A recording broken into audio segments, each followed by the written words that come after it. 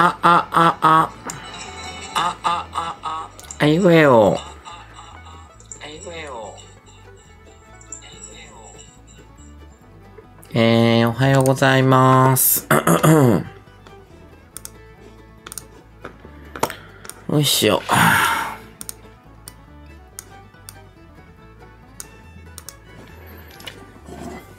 なんか天気悪いな、微妙に。曇り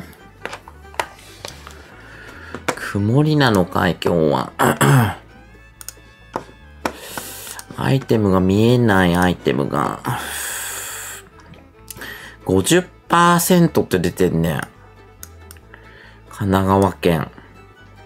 雨降んのから洗濯しちゃったんだけど。朝、干さない方がいいかな ?50% か。ええ、50%ってどうなんだろう外れるかな？なんか50%って微妙だよね。80%とかだとあれだけど90%とかさ。うーん、でも降らないんじゃない ?50% だったな。ちょっと太陽出てきたしね。50%の雨予報ってどうなの？半分半分ってことでしょ？でも80%とかでも全然雨降ったりとかするもんね。80%とか90%でも外れるときは外れるからな。どうなんだろう。なんで家に干さないんだから家に干すために朝洗濯回したんで話聞いてないかな。で、だからどうしようって迷ってんだよ。コインランドリーにも行けるけど、50%の確率で干すか干さないか悩んでるってことは家でやるってことでしょ？普通だったらコインランドに行くけどね。それだったら天気関係ないじゃん。で、そうじゃない？企画がつまらないじゃ見なきゃいいや。うるせえな企画なんとかってさ、毎日やってもらってるありがとうございますでしょ？はい、言ってごらん。ありがとうございますって言いなさいよ。お金かかってんだから。あなたたちはお金出してないんだからね。うん。毎日なんかやってくれてありがとうでしょ。だったら、そうですよ。こんなにありがとうって言われちゃった。嬉しい。じゃあほとんどの人がそういう気持ちよね。いつもありがとうって感じだよね。そうじゃない？そういうことよ。結局ね。うんうん。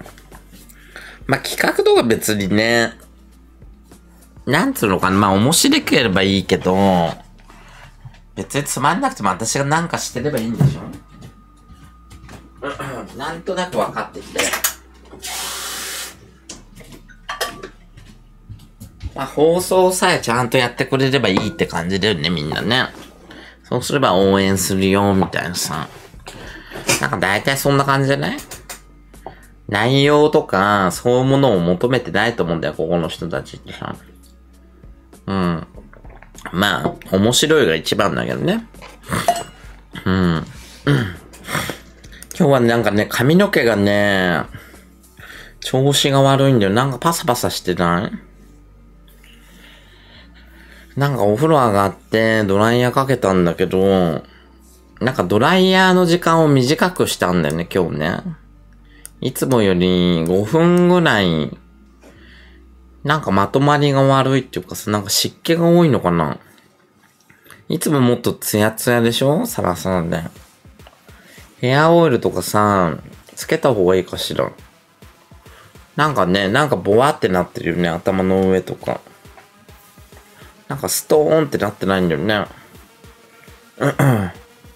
や、今日は特になんかここら辺とかさ、いつもストーンってこんな感じなんだけど、なんかここが四角っぽいっしょ。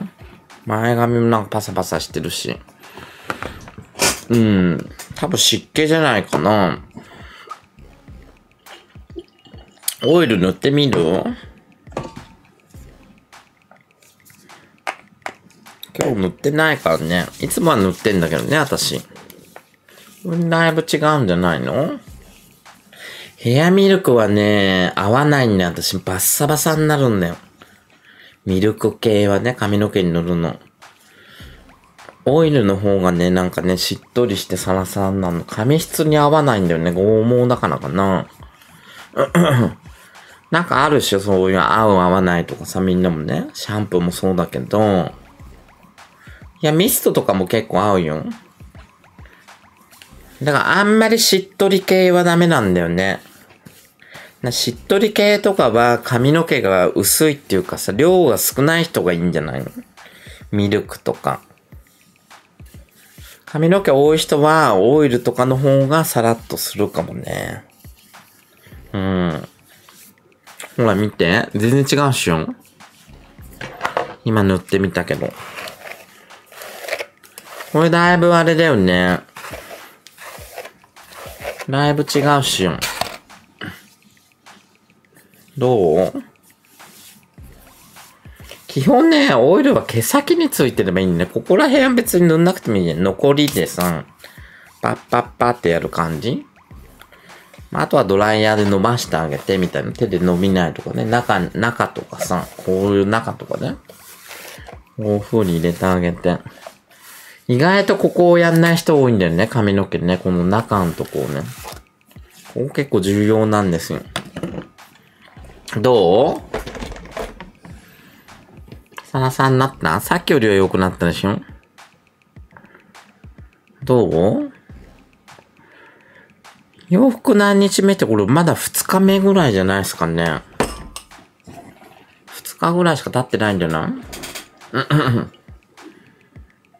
だって先週は黒だったじゃん。今黒選択してるかな。洗った白を今こう交換して、今週の月曜からだからまだ3日目じゃない ?3 日目、今日で3日目。いや、汚くないよ。お風呂入ってるし。逆に毎日洗う方が私は体に悪いと思いますよ。そういう清潔清潔とか言ってさ、あなたたちさ、洗剤と柔軟剤のね、猛毒性に分かってないよね。ね、猛毒なんだからね、あの柔軟剤とか結構猛毒なんで毒なんだよね、体に。そうだよ。それで肌とか荒れちゃったりとか、具合悪くなったりすんだからね。だからあんまり柔軟剤とかも使わない方がいいわ。うん、基本。いや、あれは揮発もするし、周りにも毒を巻くんだからね。うん。周りとかでさ、調べてほら、柔軟剤の中身っていうの。結構な化学物質が入ってんですよ、柔軟剤ってね。だったらまだ香水とかの方が、匂いつけんだったら香水とかの方がさ、ね、いいんじゃないですか？あと、使うんだったらもう少量だよね。もう大量に使う人いるじゃん、柔軟剤ってさ、もう、びっちゃびちゃに。ね、3杯、4杯寝ちゃう人いるでしょ？ああいうのは、ちょっとは危ないよっていうこの、うん。高価な柔軟剤こそ危ないよ。いろんなもん入ってんだな。そうじゃない？高価イコール、オンパレードでございますよ。いや、なんでさ、そういうことを知らないの？みんな、普段使ってるもの。柔軟剤が毒だってことをみんな知らないんだ。そういうのをね、めっちゃ気をつけてる人、柔軟剤なんて使わないんですよ。洗い方とか、温度とか、あと、まあ、洗剤の選び方でふわふわにしたいとかすんでね。うん。お酢でいい？うん。いや、調べてみ、みんな調べることをしないからさ、そういうのを聞いて、はいはいって感じ？もう自分の常識の中でこう囚われて生きちゃってるみたいなさ。ね、クソババアだから、人の意見なんてもう受け入れられないんでしょ？ね、女は特に脳みそなんてちっちゃいんだな。ね、調べるってことはできねえんだろ？噂話とかさ、なんかそういうのが好きなんだろ？ゴシップとか。ね、ゴシップとか、噂話とかね、そういうのに脳みそを使ってると。いや、ひどくないだろ。ちょっとイベントアイテム投げて、イベントアイテム。みんな、しこたま貯めてんしょ。イベントの無料のアイテム投げてください、ガンガン。負けてますよ、イベント。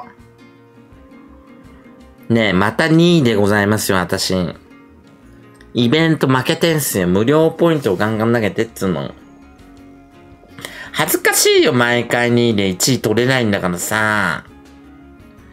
ねえ。ここのね、利点と言えば人がいることだよ、普通の枠よりね。それなのに負けてるってどういうことだよ、無料で。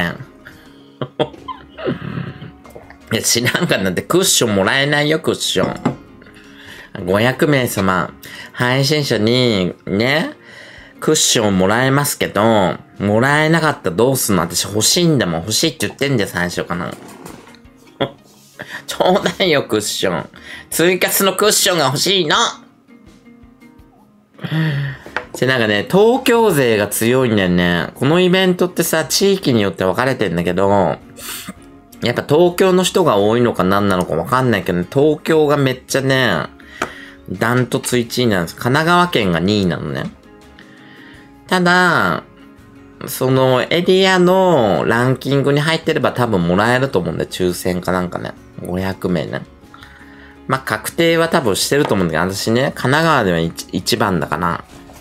アイテムの数で言うとね。そう。でも全体でも1位ですから。なんだかんだ言って。藤見先生も強いんですけど、見てみましょうか。ツイキャスの中で1番だよ、今。え？ー、多分。えー、みんなが応援してくれてるかな ?1 番だろう。どうだ？どこにランキングあんだ、これ？あ、1番目ですね。神奈川1番目。もうすぐで100万ポイントになるね。96万ポイント。どうでしょうか？で、全国だとやっぱ負けてんだね、ほら。うわ下がった。3位になってる。昨日まで2位だったのに。大阪に負けてる。うわ、ここ桃奈々ちゃんとかいるんだな。香川さんとか。こっちは藤見ちゃん、野田さんもうこっちはしょぼいのしかいないよ。私、マッキー。なんか狐みたいな女。これ誰？デコルテ姉さん似てるね。誰？この女。あ、マリクソちゃんか。ちょっともっとさ、神奈川の大手さんいないの？これ自分のとこ多分ノミネートしてるよね。藤見ちゃん東京でしょ？野田さんも池袋じゃん。で、香川さんも大阪じゃん。神奈川いねえの？なんか強いの。弱えだろ、これ。ダッス？あ、ダッスはほら、有料がつけないからね。そういうことじゃない？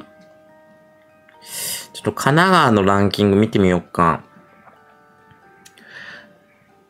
あ、でもマッキー結構頑張ってんね。101、10、100,000万、10万ポイントだ。すごいね。閲覧ね、30人で10万ポイントってかなり貢いでもらってんじゃないの？これ。ん？マリクソちゃんも6万ポイント。コマエくんはいないんじゃない？県外。いない。どこにもいないっすね。あ、山ちゃんとかいるね。山ちゃんダッスいるね、神奈川。ちょっともうちょっと頑張ってるね、この二人ね。神奈川。弱いよね、ちょっとね。だって3位に下がっちゃったんだよ。やじゃん、3位ってなんか1位取りたくない。あ、深夜くんもいる、深夜くん。深夜くんも川崎だしね。あと4日でしょ？だから無料ポイントでいいからみんな余ってんのあったらちょうだいやだよ、3位とか。ねえ、ちょっと東京見てみようかな。あ、でもさ、藤見ちゃんで48万ポイントか。1位でね。で、2位の人が野田さんが25万ポイントか。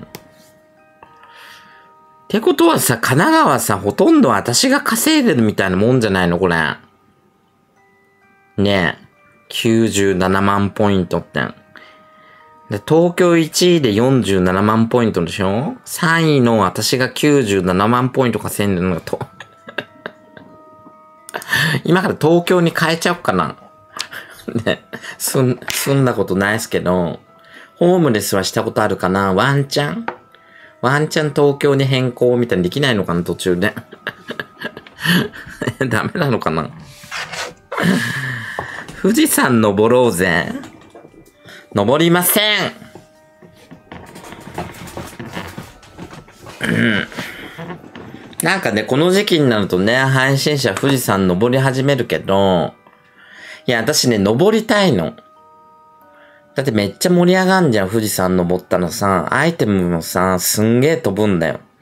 富士山って。私が一回ね、ほら、石川さんの富士そばっていう企画で登った時めっちゃアイテム飛んだんだよ。もう、50万ぐらい稼いだ1日ね。ただ、登りたいんだけど、私ね、腰が弱い、なんつうの、腰痛めてて、山登りとかできないんね。腰がちょっとね、悪いんですよ。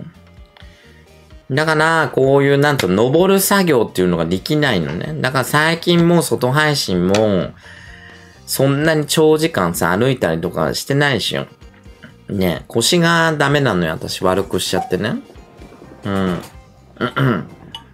いや、太りすぎじゃなくて、太りすぎじゃなくて、私がなんで腰を痛めたかって理由みんな知ってるよね。にわかリスナーじゃなくて、ガチ勢だったらわかるよね。なぜ、私は腰を痛めたかっていうの。何回もお話ししてますよ、そのお話。うん。え、知らない？いや、通販番組に出てる時に、ちゃぶ台の上でさ、乗って遊んでたら、ひっくり返ってそのさ、ちゃぶ台の足が折れたんだよね。折れた上に私の腰が刺さったんで、ガーンって。ダーンって刺さったの。このまんまね。ドーンって。いや、笑い事じゃないんだよ、本当に。いや、何年前？もう4年前とかじゃないそれからずーっと痛いからね。腰治んないから。何しても。マッサージ行っても治んないし、整体もやっても治んなかったし、うん。だちょっと、腰を上げたりとかすると、ビキンって痛くなるんだよ。歩いてても、歩き方によってはすごい痛くなっちゃったりとか、一週間とかね。うん。いや、多分もうね、一生治んないと思うよ。ずれちゃったんだと思う。あのー、剣みたいのが、腰の剣みたいのが。だって4年間ずっと痛いってことそういうことでしょ多分治んないよね。どうなんだろう。もう、一生これは痛みと戦わなきゃいけないんじゃないかな。最近はほら、ゲーミングチェアに座って、これになってからだいぶ良くなったんでね。昔はほら床に座ってたじゃん。床にはもう座れないのよ、私痛くてね。この床。床にこうやって座んのが、もう長時間座れないって感じ痛くて。こういうクッションとかね、こういうのに守られてる分にはいいんだけど、ああいうソファーとかね。うん。いや、正座はできるけど、なんつうのかな。床がダメなんだよね。硬いとこに座ると、もうずーっと痛くなっちゃう。なんなんだそのやっぱ、ここの、刺さったとこが、やっぱり悪いのかな。うん。何なんだろうね。いや、太ってる太ってないとかの話じゃないんだからさ、その説明したじゃん、何回も。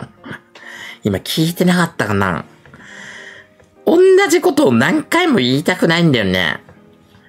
で、事故で、事故でそうなったの。そういうのなんていうの仕事中の事故。なんていうの？労災っていうの？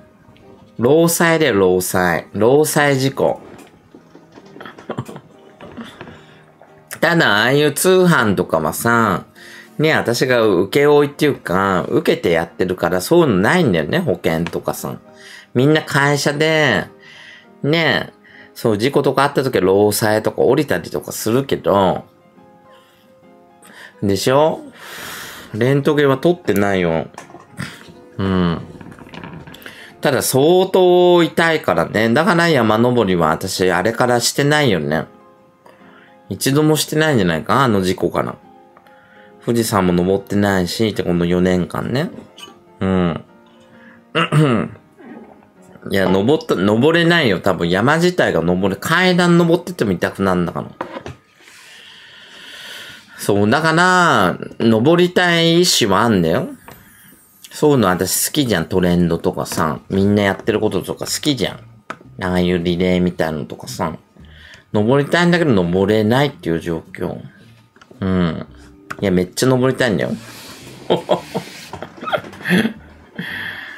あ、高尾山は登ったけど、結構ゆっくり登んなかった、私。高尾山なんてさ、だってさウォ、ウォーキングコースみたいな感じじゃん。ねなんか緩やかなで、ね山のさ、一番激しいとこなんて、なんつうのかな。リフトみたいのがあんだよね。それを乗ったし、前回高尾山登った時。うん。途中でリフトみたいのあって、それに乗ると頂上まで行けんの、ビューっつってさ。うん。いや、言い訳じゃなくて腰って結構怖いよね、みんなね。腰痛めたことある人だったらわかるけど、腰は結構ね、怖いよ、本当に。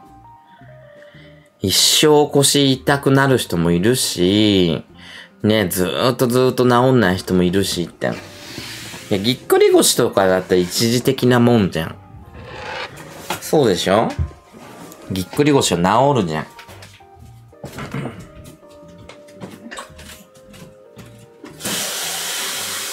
ただこの腰の部分とかさ、背中の部分って結構神経いろんな神経、ずぶとい神経が通ってるかな。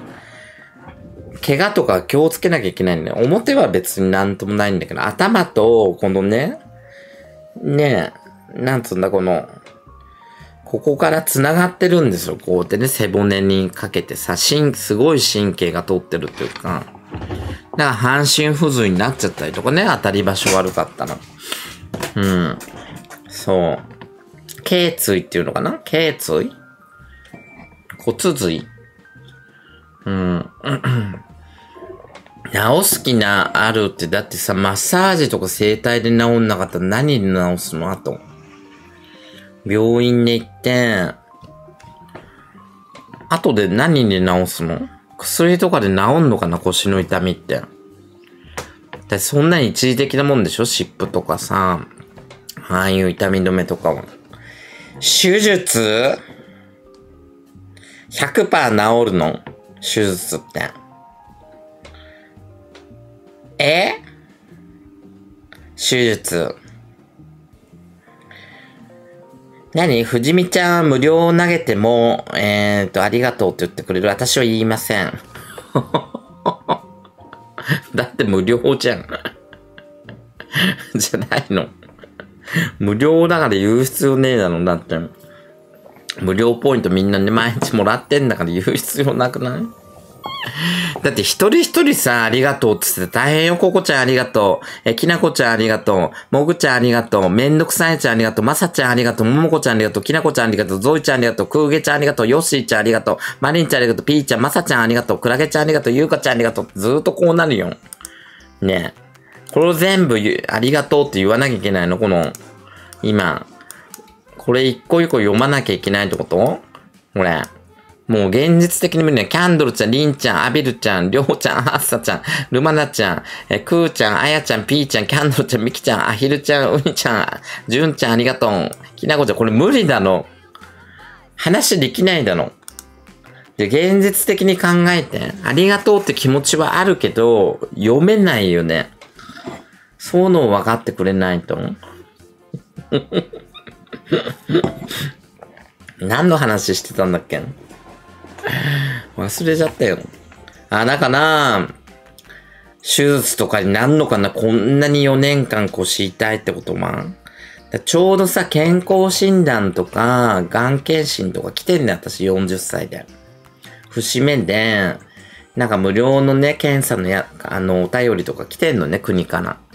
無料で病院で受診できますよってやつ。でちょっと一回全部調べてもらった方がいいかもね。もう、そろそろ、40歳の節目で、今年は体を全部調べるっていうの？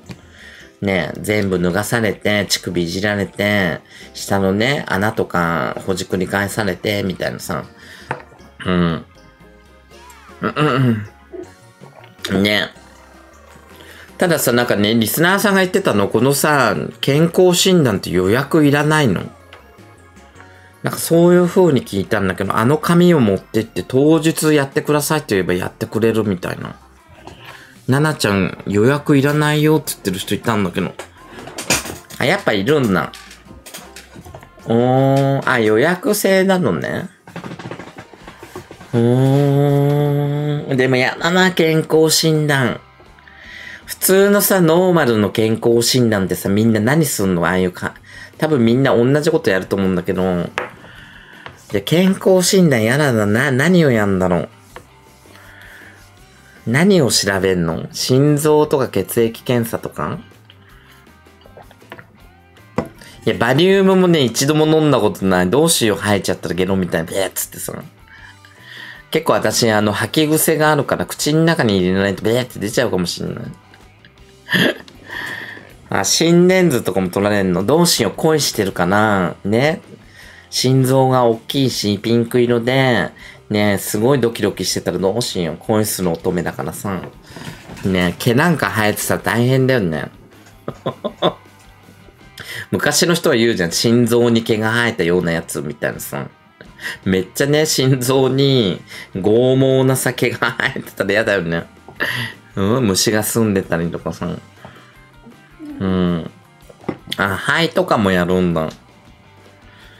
ただ健康だからね。ちょっと血圧高くて、最近ね、デブったからあれだけど、でも一番怖いのは私あの、無呼吸だよね。多分私無呼吸になっちゃったと思うんだよ。太ってからね。寝てる時に、あの、息を止めちゃってる可能性がある。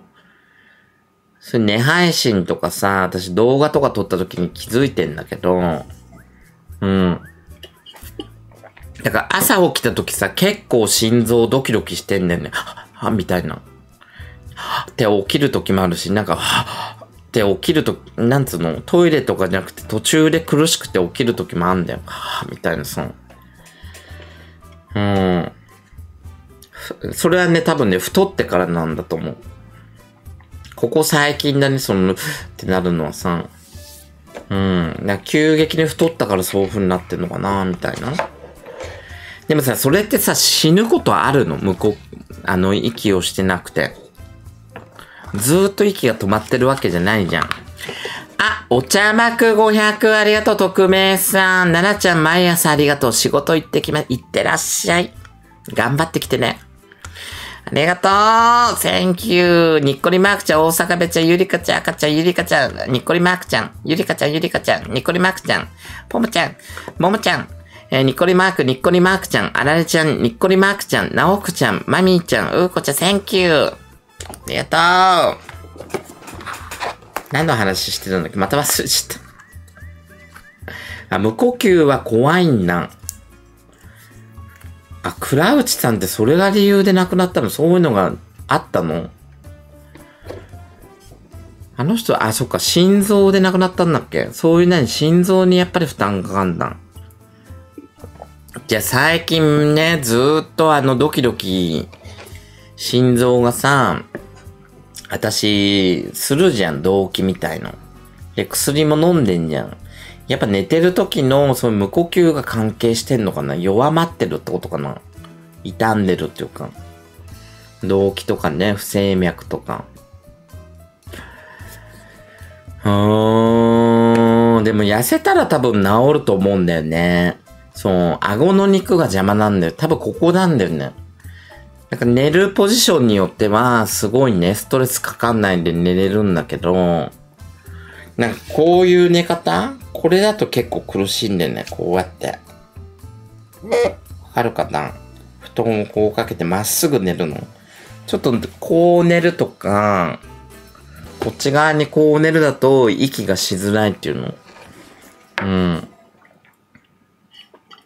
そう、休止のべもね、結構楽音なんで、スーッとね、結構即興、即効性がある。うん。太ってる人に多い飲む呼吸、どうなんだろう。でも野田さんとかもそうでしょなんか装置つけて太ってるのは一要因あるんじゃないの？まあもともとそういう体質の人もいると思うけどね。生まれつきっていう人も。なんか太ってる人のイメージだよね。バイデン大、バイデンとかもそうでしょあの人。バイデンもちょっとぽっちゃりじゃん。あの、アメリカの大統領で、バイデンも無呼吸で有名だけどね、あの人。うん。ねえ。あ、トランプだっけ？トランプだっけ？うん。あ、テルチャンピンとかもそうね。あの人もちょっとぽっちゃり系だもんね。急激にやっぱり太ったもんね。BGM って何？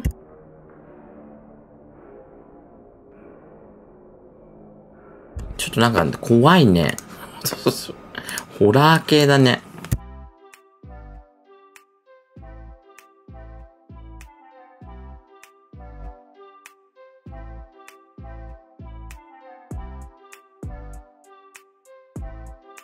これでいいんじゃない？これでいいんじゃない？ちょっと大きいかな。ちょっとね、だから今年はちゃんと病院に行く、その無料のさ、検査のやつ来てるかな？健康診断やって、体の中全部調べて、みたいな？うん。だからもう40歳だからね。20歳のピチピチギャルじゃないか、もう成人式2回目だから、ちょうど節目でいいんじゃないかなと。本当にやるの？でも無料だからやった方がいいよね。それ、時期さ、間違えちゃったら有料でやるんでしょ？有料の健康診断って結構高いよね。10万円以上かかんじゃない？そういうのが無料で全部できんだったらね、やっちゃった方がいいよな。あとね、パスポート取りたいの。今年の目標。運転免許も取りたいっていうのはあったんだけど、免許はもう無理じゃん。あと6ヶ月しかない。でも、免許は来年にして、そう、パスポートはね、あの、センター行けばすぐ取れる。ネット上でも今取れるみたいで。じゃあ、海外旅行行きたいなと思ってね、麦わらのレイ君がさ、今さ、フィリピンとかタイとかね、1ヶ月ぐらい海外配信をしてんだよ。あれ見てて、なんかね、すごい羨ましいなと思ってさ。うん。で結構みんな海外行くとさ、羽伸ばしてさ、自由にやってんじゃん。まあ一応許可とかは取ってるけど、ほら電話とかもなんないし、警察も来ないしってさ、ね日本よりはなんか緩いじゃん。海外の方がさ、回しててもね。な海外とかで思いっきりさ、こうさ、配信を楽しみたいっていうの？外配信いやね、プラン的に、ね、私の誕生日に、ニューヨークで歌を歌うっていう配信をやりたいなと思ってたのよ。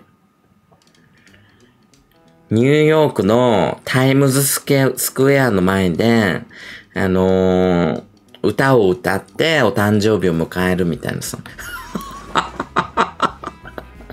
スケールでかいでしょ。うん。いや、ラスベガスとかだったらさ、あれだよね、ギャンブル狂いになって帰ってこれなくなっちゃうね。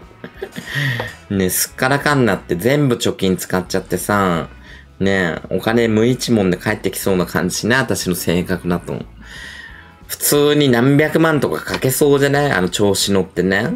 もう熱くなっちゃってみたいな。だからギャンブルはちょっと気をつけた方がいいあの上限がないやつとかね。うん。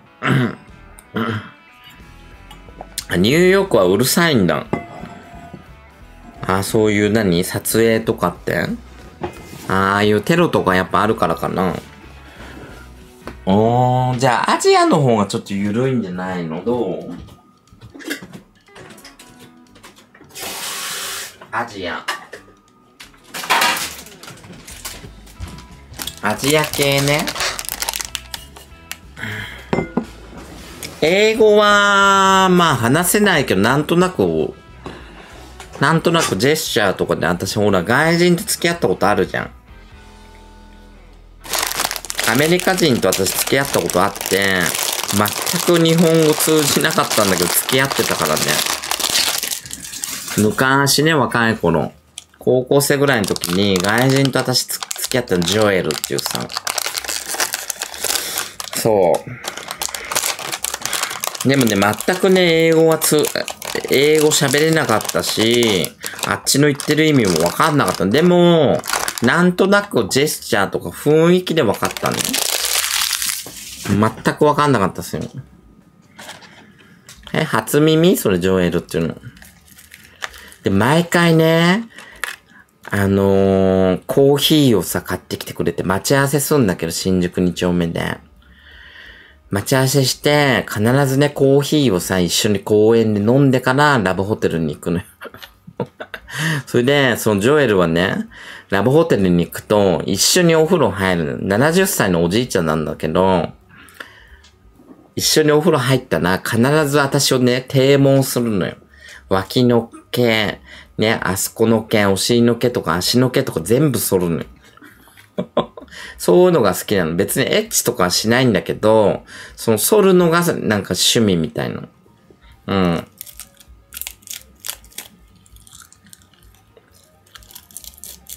そうなんだ。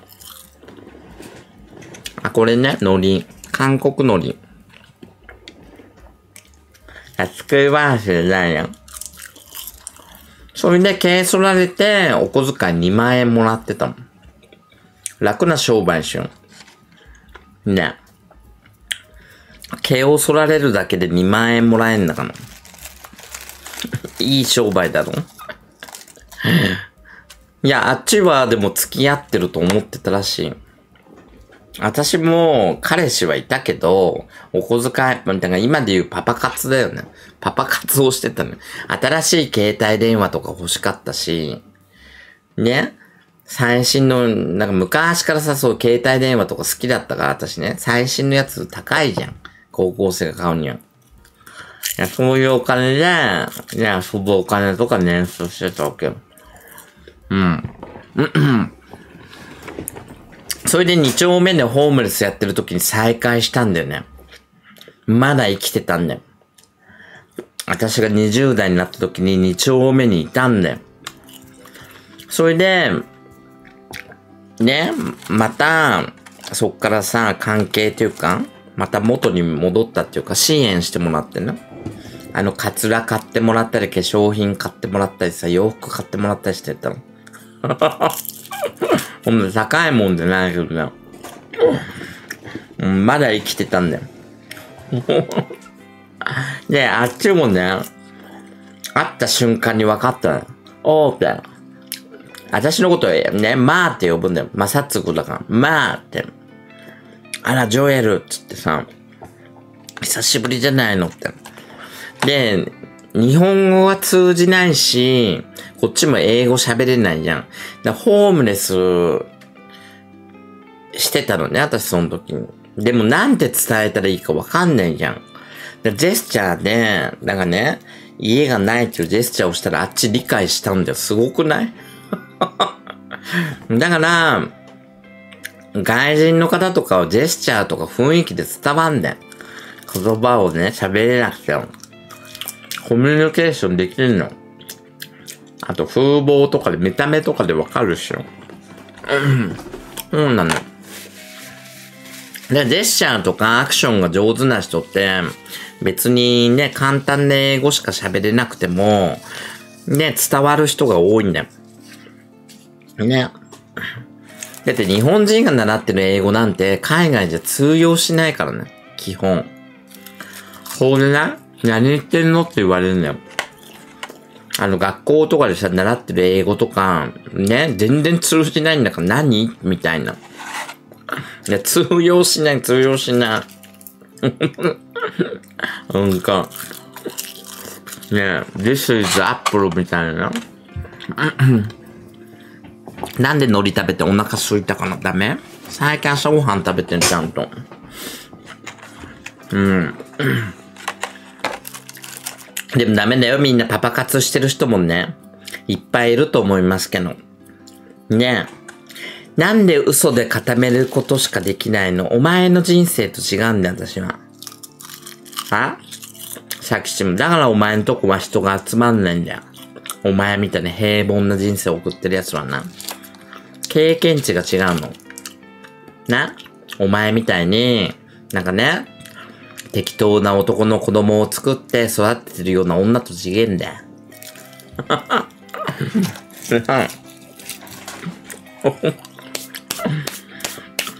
広いって何？だってさ、これがさ、全部嘘だったらさ、私天才的じゃない？これ毎日毎日喋ってることを頭の中で考えてさ、相当頭いいよね、私ね。で、これが全く何もないとこからね、この話を作ってるとしたら、相当なプロデューサーとか脚本家になれると思うよ。いや、話を持ったりとかはするけど、ほとんどはあれね、本当の話しかしないからね。私、嘘の時は嘘って言うかな。ね、ごめん、嘘ついちゃった、ペロンってやるじゃん、いつも。ねじゃ、嘘をついてないのに嘘って言われるのが私嫌なんだよね。嘘ついてないのに、う、嘘つきとか虚言とか言われるの？すっごい嫌な。いや、9割要するに盛るときはあるよ。例えば、1万円もらったっていうのを100万円って言ったりとか、数字はね、私結構ね、盛る。じゃあ10人いたとしたら、それをね、1000人とか1万人って言ったりとかするけど。結構盛るでしょ。数字は盛るのよ。数字はね、例えば、じゃあ3000だったら5000って言ったりとかさ。ね、あの、端数をね、はしょってみたいな。え？さっきのは200円だった何が？そう。結構ね、盛り、見えっ張りなんだろうな。そういう数字を盛るってことは。でもさ、今日さ、朝ね、スーパーカー王子から連絡あって、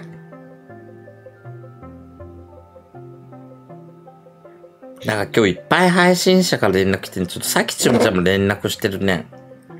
ちょっと一回さきちむ、なんかいろんな配信者から連絡来てる今見たの。さきちむちゃん？はい。なんなのよ、朝かな。つ、つっかかって生理かしら。またそういうひどいこと言うね。じゃ、なんなのよ、私が嘘ついて。嘘なんかついてないのか謝って。え、嘘ついてるのに聞こえるけど。聞こえるだけで嘘さっきの発言。何？ほら、子供育てないよ。ちゃんと。育ててるし。ほんと。あ、育ててんの？ははじゃなくて。何してんの？何してんの？よ？ちゃんと見ないよ、子供。そんなさ、くだらない電話。えなんで怒んの？み見えてないところでやってますから、私。やってんの？そうなのお腹空いてんじゃない？ちょうど朝ごはんで今。食べました。ご飯何食べさせたのよ？知らないくせにそういうこと言わないで。何食べさせたの？朝ごはん何だったの？カレーライスと、ポテトサラダと、ヨーグルトとバナナ。で、昨日の残りね？何が？にに昨日の残りじゃないよ。カレーライス朝からカレー作ったの？うん。カレーライスなんて子供に食べさせていいの？甘いやつを？そう。子供用の。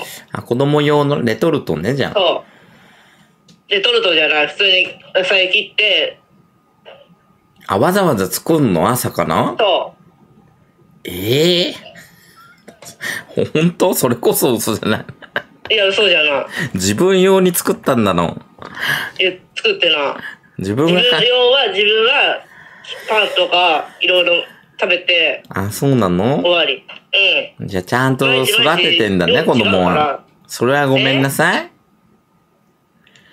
子供をちゃんとなんたらかんたらって言ってごめんなさい、家のこと言ってん。はい。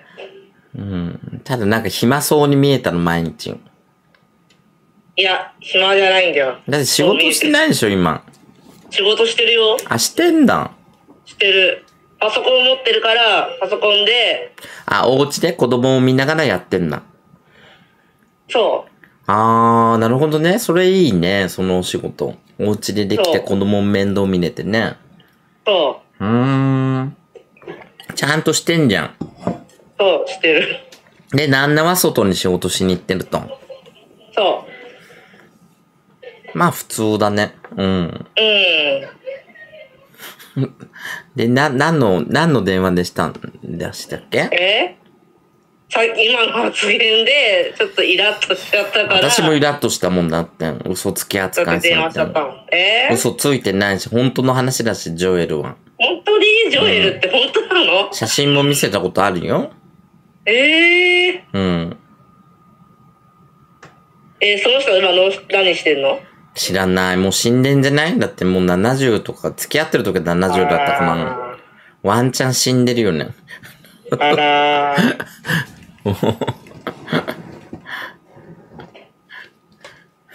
で まあ、配信頑張ってね。さきちぶちゃんも頑張って。怒らないはい、でね。ありがとうございます。いちいちいちいち怒らないで。うジョークで言ってんだから。うん怒ってない、怒ってない、怒ってない。ね？ダメよ、そうやってね？小さなことで怒ってちゃん。カニカニしてちゃんね。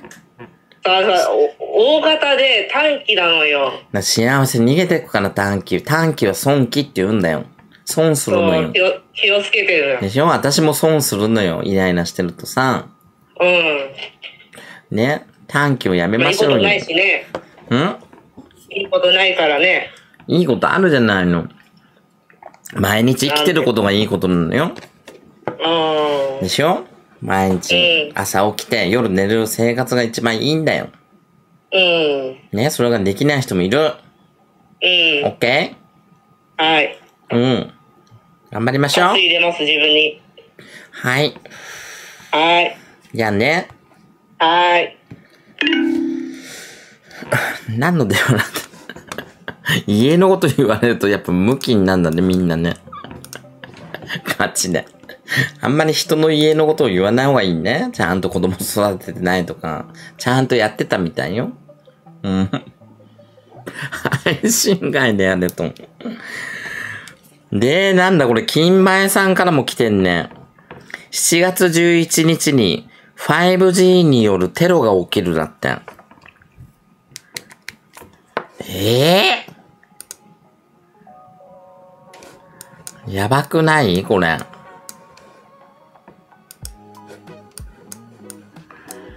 5G によるテロが起きる。ワクワクを打った人間の体内には電波によって破裂するタンパク質が埋め込まれている。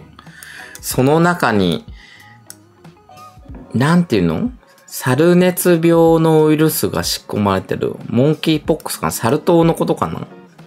つまり、日本人のほぼ半数が緑猿。熱病で死ぬだって。7月11日って言ってる、やっぱり、金梅さんも。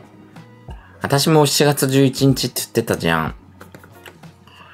まあ、何か起こるんでないの？その猿熱っていうのは何だろうね。猿かな？猿の熱？うん。ちょっと怖いね。なんかよく 5G のさ、なんたらかんたらっていう人いるけど、でもまあ、影響はありますよね。ぶっちゃけね。だって電子レンジとかもそうじゃん考えてみるとさ、電子レンジも危ないって言ってる人は一切使わなかったりとかすんだよ。あの、電磁波じゃん、で電子レンジもね。本当にそういうの気をつけてる人って、嫌な人ってね、電子レンジを使わないんですよ。電子レンジを使わないで加熱したり、ガスとかさ。そう。だから信じてる人は信じてんだよね。そう、電磁波の影響って。目に見えないからわかんないじゃん、ぶっちゃけ。ね、電磁波ってだってここ100年ぐらいでしょ、使い始めたの。ね、どういう影響があるかって目に見えないからわかんないんだよ、ぶっちゃけな。うん。そう、でも世の中にはそういう電磁波の被害に遭うからとか、いうので、電子レンジを使わなかったりとかね、携帯を持たなかったりする人いるんだよ。スマートフォンからも電磁波って出てんじゃん。電波がさ。うん。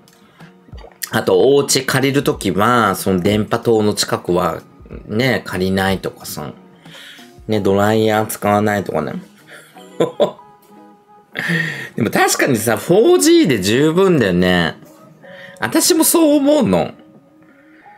なんか 5G になって何が変わったのって感じしない？そんなに目に見えて私は変わってないんだけどね。逆に 5G を使ってない？あの充電持ち悪いかな？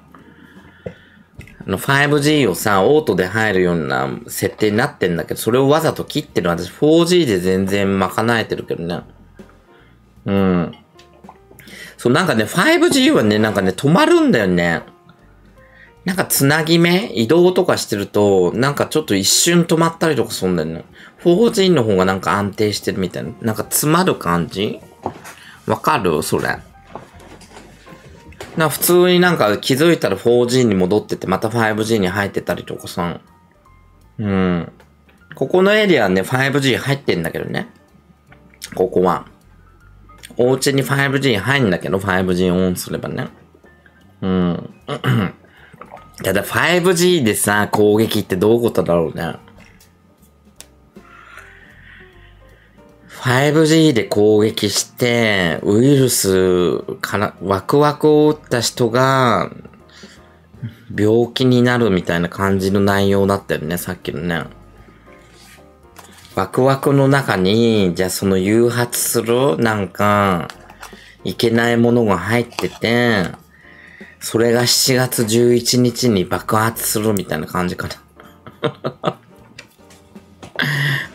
でもなんでこういうさ、デマが、デマっていうかわかんないよ。実際わかんないけど、なぜそういうのが出たかっていうと、中国の武漢なんだよ。一回、中国の武漢でさ、人がめっちゃ倒れてる映像が全世界に流れたんだよ。コロナがまだ流行る前ね。バタバタバタバタってさ、みんな倒れちゃって、もう病院とかにさ、死体とかが山積みになってみたいな、これはなんだみたいな感じ。まだコロナとかわかんなかった時ね、武漢で謎のなんか病気が流行ってるみたいな。見たことあるでしょで、そこで、なんか 5G っていうのが出てきたね。5G で攻撃されたみたいな。電波を当てられてみんなね、ぶっ倒れちゃったみたいなさ。いや、規制は来ないと思うけど。やらせじゃないでしょ、あれだってバッタンバッタン人倒れてたよね、最初の頃ね。見たことないその動画。すごいよ。もう、道歩いてる人がバッタンバッタン倒れちゃって、死体山積みみたいな。だ最初はなんかそんな状況だったんだよね。いや、フェイクなのかわかんないじゃん。だってフェイクフェイクなのか真実なのかどうやって見抜くの？今だってこれが話してるのがフェイクかもしんない。ディープフェイク。これ。私が話してるのがこれフェイクかもしれない。ディープフェイク技術を使って今話してるかもしんないんだよ。いや、今はもうそれレベルでできるね。ニュースキャスターもね、ディープフェイクで作れたりとか、記者会見とかね、その人がいないのに、勝手にやってくれるとかね。うん。じゃ、なんでね、こんな話してるかっていうと、最近ね、私ドラマを見たの。これ言っちゃっていいのかなちょっとネタバレなんだけど、そのね、ドラマのオチがディープフェイクだったんだよ。言っちゃっていいかなそうっす。今ね、ネットフリックスでセレブリティっていうさ、韓国のドラマがやってるの。SNS 系のさ、そういうね、私たちみたいなインフルエンサーの職業のお話みたいなドラマね。それで結局、そのさ、主人公が亡くなっちゃうんだけど、亡くなったことになってんだけど、後々ね、登場してここで暴露すんだよ。生放送でさ。で、なんで死んだ奴が出てきたんだって。で、結局、その、ディープフェイクだと全然違う人が喋ってて、ね、見た目はその人なんだけど、ディープフェイク技術で、こう話してるみたいな。ただ本当に、生きてたんだけどね。その人は死んでないで、あの、めちゃくちゃネタバレなんだけど。本当に生きてたんだけど、代わりの人に喋らしてたみたいなさ。そういうドラマなんだよね。うん、結構面白いね。しのぶちゃん、オレオレちゃん、ニッコリマークちゃん、ありがとう、 thank you。うん。あ、でも革新的なことはね、ついてないの。で、ずーっとね、その主人公に、めちゃくちゃね、嫌がらせをしてる人がいるのよ。アンチみたいのがずっといて、そいつがコントロールしたりとか、事件を起こしたりとかすすんだけど、そのアンチと最終的には対決になるんだよ。その主人公ね、インフルエンサーとアンチが、ね、最後に、こう戦うみたいなさ。でもろ、私はほら、そういうさ、インフルエンサーの仕事してるから、もろさ、ハマっちゃって全部見ちゃったのよ。一日で見ちゃった、私。うん。すごいわ、と思ってさ、なんとなく共感できるみたいなさ。うん。いや、なんで、で、革新的なネタバレは言ってないよ。そういう犯人とかさ、ね？犯人とか、なんかそういうなんか革新的なネタバレはしてないから。まあ大体わかるかなってみ、あらすじみたいな、エピソードみたいなさ。だってさ、見る前にさ、大体下に書いてない書いてるよね。例えば第1話、ねで、豊かっていう男の主人公がいて、豊かは歩みと出会った。え3年ぶりに、えーニューえーアメリカの高架下で出会ったが、そこで事件が起きた。その事件とはみたいなさ、あらすじみたいのがあるじゃん。大体あれで内容わかるじゃん、あそこでね。うん。ネットフリックスは書いてあるよね、詳しくね。ポンって押すとビャーってさ、ね、10行ぐらいのエピソードみたいなの書いてあるんだよ。それ見れば大体、あーってそう、こういう内容なのね、みたいな。うん。だか最近ハマってんのがその、えー、っと、なんだっけ。えー、っと、なんだっけ？名前。えーっと、あ、セレブリティと、なぜかね、今ね、呪術回戦に私ハマってんの。また最初からね、呪術回戦を見始めてるの。でなぜかっていうと、もうそろそろさ、シーズン2がやるんだよね。そう。そのニュースを見て、あれ、呪術回戦ってどんな内容だったかなと思って、また見返したんだよ。そう、6日かな、呪術回戦やるんだよ。あれ、今日だっけ？え、今日からだっけ？エピソード2。ね領域展開って言ってね。みんなを領域展開に入れちゃうからね。領域展開。肉の塊の寂しさ。みたいな。みんな肉の壁にベーンって今ね、入っちゃったからね。必中ですよ、必中。そうさ、領域展開に入るとほ、ほぼほぼ必中なんでね、みんな殺されちゃうのよ。そこに入っちゃうと。そんなアニメなの。呪術回戦はね、まとめて言うとどんなんだろうね。なんか呪物とか、なんか、なんか御礼みたいな感じ、なんか呪いとの戦いみたいな。呪いを武器に使う人もいりゃ、呪いで負けちゃう人もいるみたいなさ。みんなの呪いの力みたいな。怨念とかね。あの、そういう、なんつうの、心みたいな。うん。そう。だからみんなはさ、ね、ネガティブな感情って持ってるじゃん。ね、ポジティブじゃなくてネガティブな感情ってあるでしょ例えば妬み、嫉妬とか憎悪とかさ、ね、やきもち、まあ、ここの人で多いのはやきもちとかさ、あと、殺、殺意だったりとか、そういうなんか負の力を、ね、あの、使って、なんか技を出したりとかする人たちなんだよね。呪術師っていうの。ね。それで、ね、あの、妖怪みたいの倒していくみたいな。結構ね、内容的にね、ダークなんだよね。そんなに明るいアニメじゃないの、ああいうのってさ。なんかちょっと、ネガティブっていうかダークっぽい感じだよね。あの呪術回戦ってさ。なんか、わーとか言って敵倒してヤッピーみたいなさ、そういう感じじゃないんだよ。ちょっとなんかダーク、ダーク系みたいな。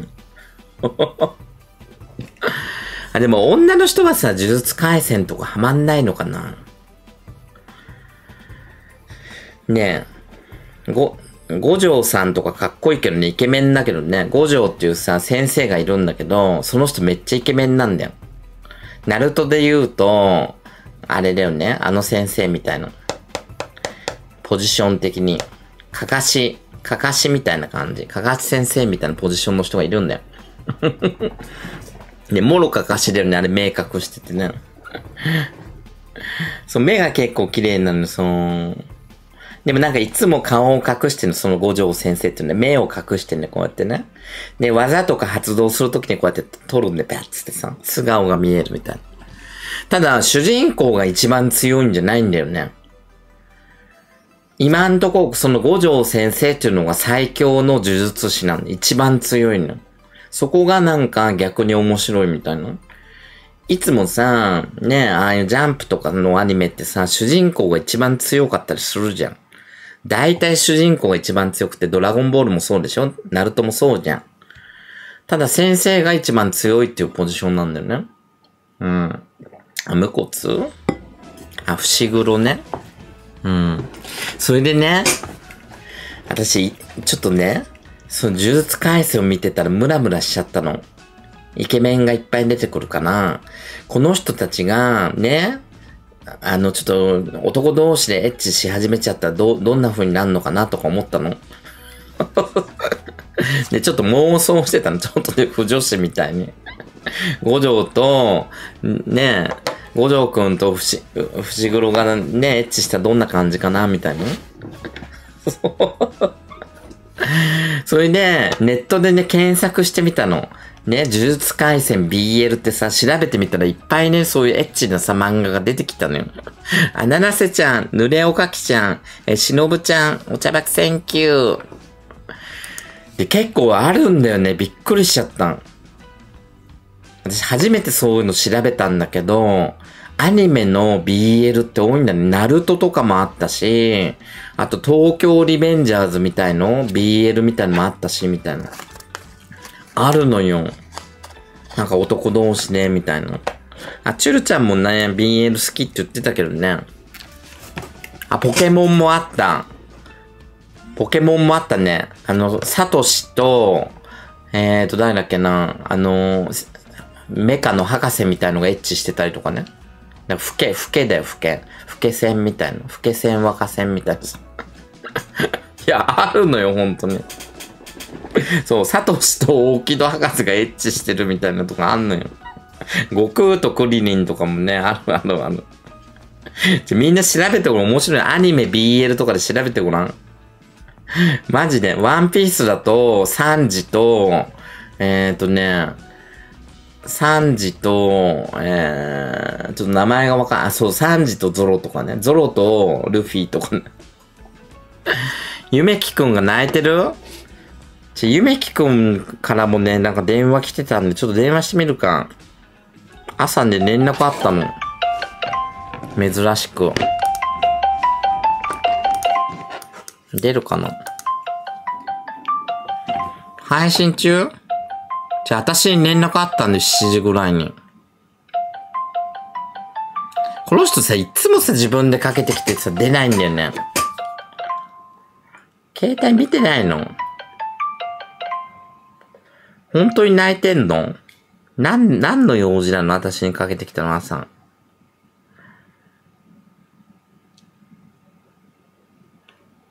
電話出ろよ。見てんじゃん、今、携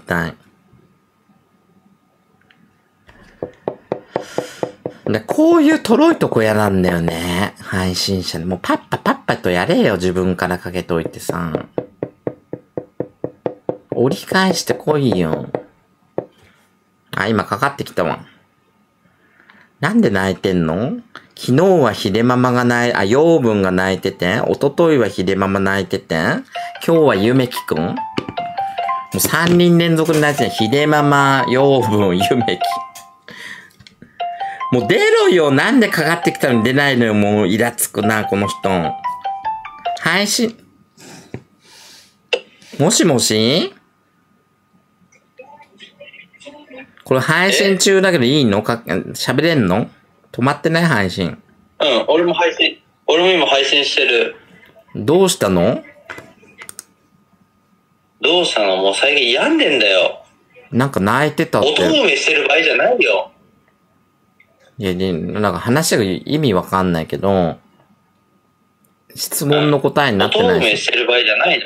で質問の答えになってないよ。あの、キャッチボールできないのかな？お？な、何を答えたらいいの？いや、なんか、ゆめきくんが泣いてたと。で、連絡も入ってたから心配して今かけたの。どうしたの？いや、どうもしてないんだけど、最近配信楽しくないなって。何？その、モチベが上がんないって感じ？じゃあ、モチベがま上がんないじゃなくて、うん。あのー、なんて言うんだろう。配信が楽しくないの。でもやらないといけないな、とは思うの。あなたさ、7日にうち来なよ。4月7日。うん。交通費とか全部出すから。わかった。七夕に来な。わかった。合宿しようよ、合本当に、宿。でもなちゃん、それは別としてね、俺本当にね、最近の本当に、そう、なちゃんに言うことじゃないんだけど、うん。なんかね、えーわかんないけど、配信がね、ただ、なんか、配信がつけれないのよ。え？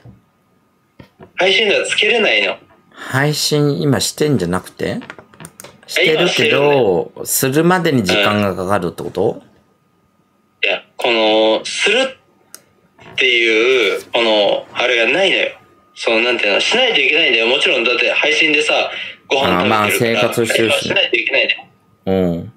もちろんね。だけど、その、配信をこのしたいっていうモチベーションにならないの。何？収入が少なくなってるってこと？やっぱり。いや、じゃあそのまあもちろん収入が少なくなってるとかはあるかもしれないけど、うんそうじゃなくて配信が楽しくなくなっちゃってる。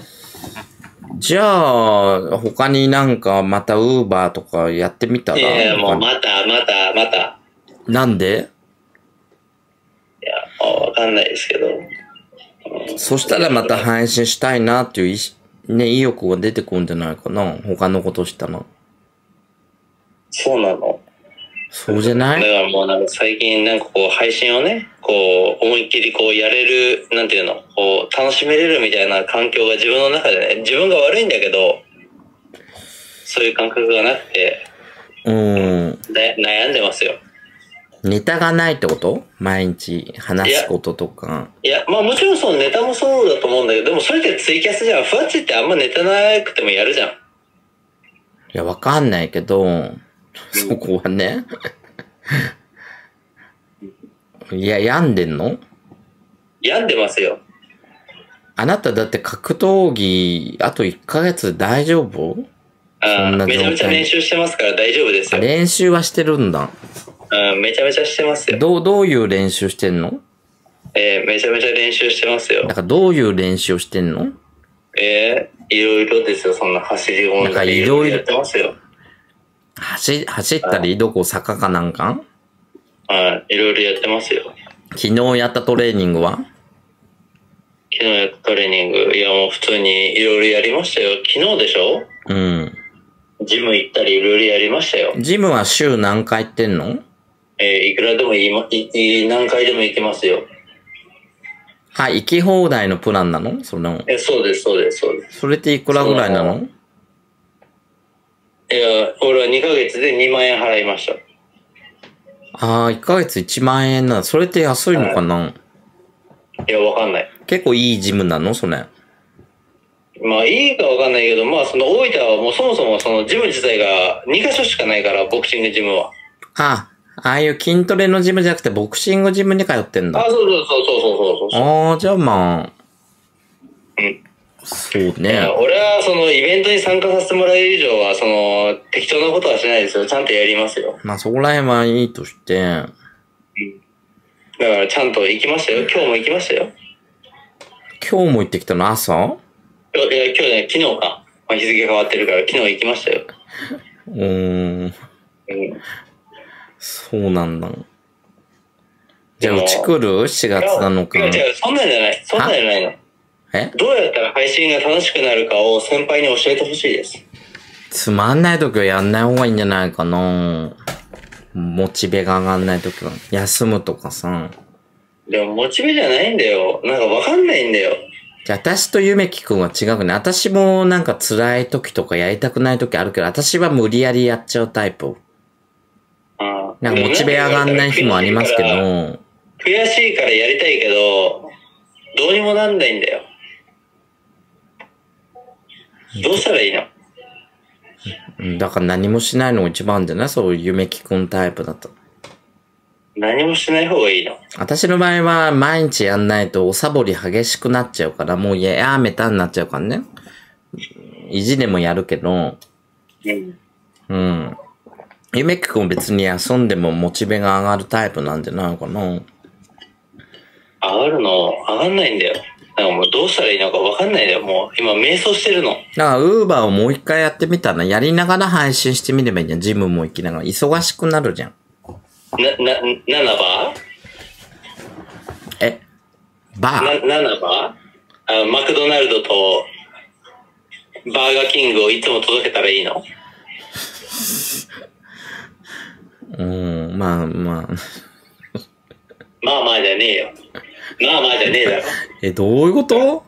話がわかんないんだけど。なんでわかんないじゃないえ、この、な、7個は何があるの？いや、それはジョークで言ったんだけど、ジョークかよ。え、来る気あんの？来る気あんのと来なよ。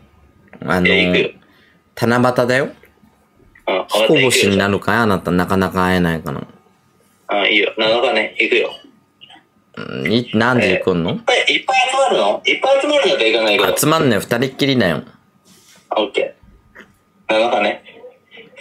いや、本当に来るの？な、何時に来るの ?6 日に来るじゃん。分かった、6日に行くよ、じゃあ。うん、何時に来るの？何時でもいいよ。配信11時に終わるんでしょ ?11 時半に行く。11時にあ、行くじゃん。明日はダメなんだ、私ほら。明日忙しいんだよ。あ、いや、明日が何曜日、何日か分かんない。明日が6日。うん。え、何時に終わるの？夜ぐらいには帰ってくる。何があるの？どこの男と遊ぶの？いや、そういうのは言えないんだけど、夜ぐらいには帰ってくる。ちょっとプライベートで用事あってん。プライベートないでしょお？プライベートないでしょいや、あるの。あるの？うん。でも今俺を引き引き入れたら大変だよ大丈夫何を？あの、前より大変だけど、今、あの、俺を引き入れて大丈夫じゃあやめとこうかな。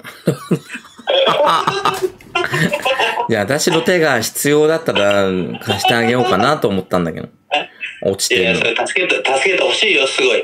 だけど、今はもう本当に、なんか昔、前はさ、そう何も考えない、チャラパラファーみたいな感じだったじゃん。パラパラ。こうちょっと、ちょっと病んでるから。あのさ、ひでママんとこ行ってきたらはいはい、ひでもいいよ、もうコメントしてるけど。いや、ガチで言ってんのよ、これ。ええもうそれはいいよ。ひでママんとこに。にちょっと遊び行ってきなよ。いや、ひでもいいよ。いや、そういうさ、人とのつながりも大事よ。全く関わってないじゃん、配信者とかいや、まあさ。確かにね。でもそれでも、あえて関わってないんだけど、俺は。多分人とも喋ってないんじゃない？いや、喋ってない。だから、ななちゃんに今日朝から電話かけて、みんなにお風呂入ってるよとか言われながらもう電話かけたの。やっぱこういうネット上じゃなく、直接誰かと触れ合ったりとかするの大事よ。そういうのを病んできちゃったりするからね。いや、違うんだよ。俺でも本当に、あの、配信ボタンを押す方法を教えてほしい。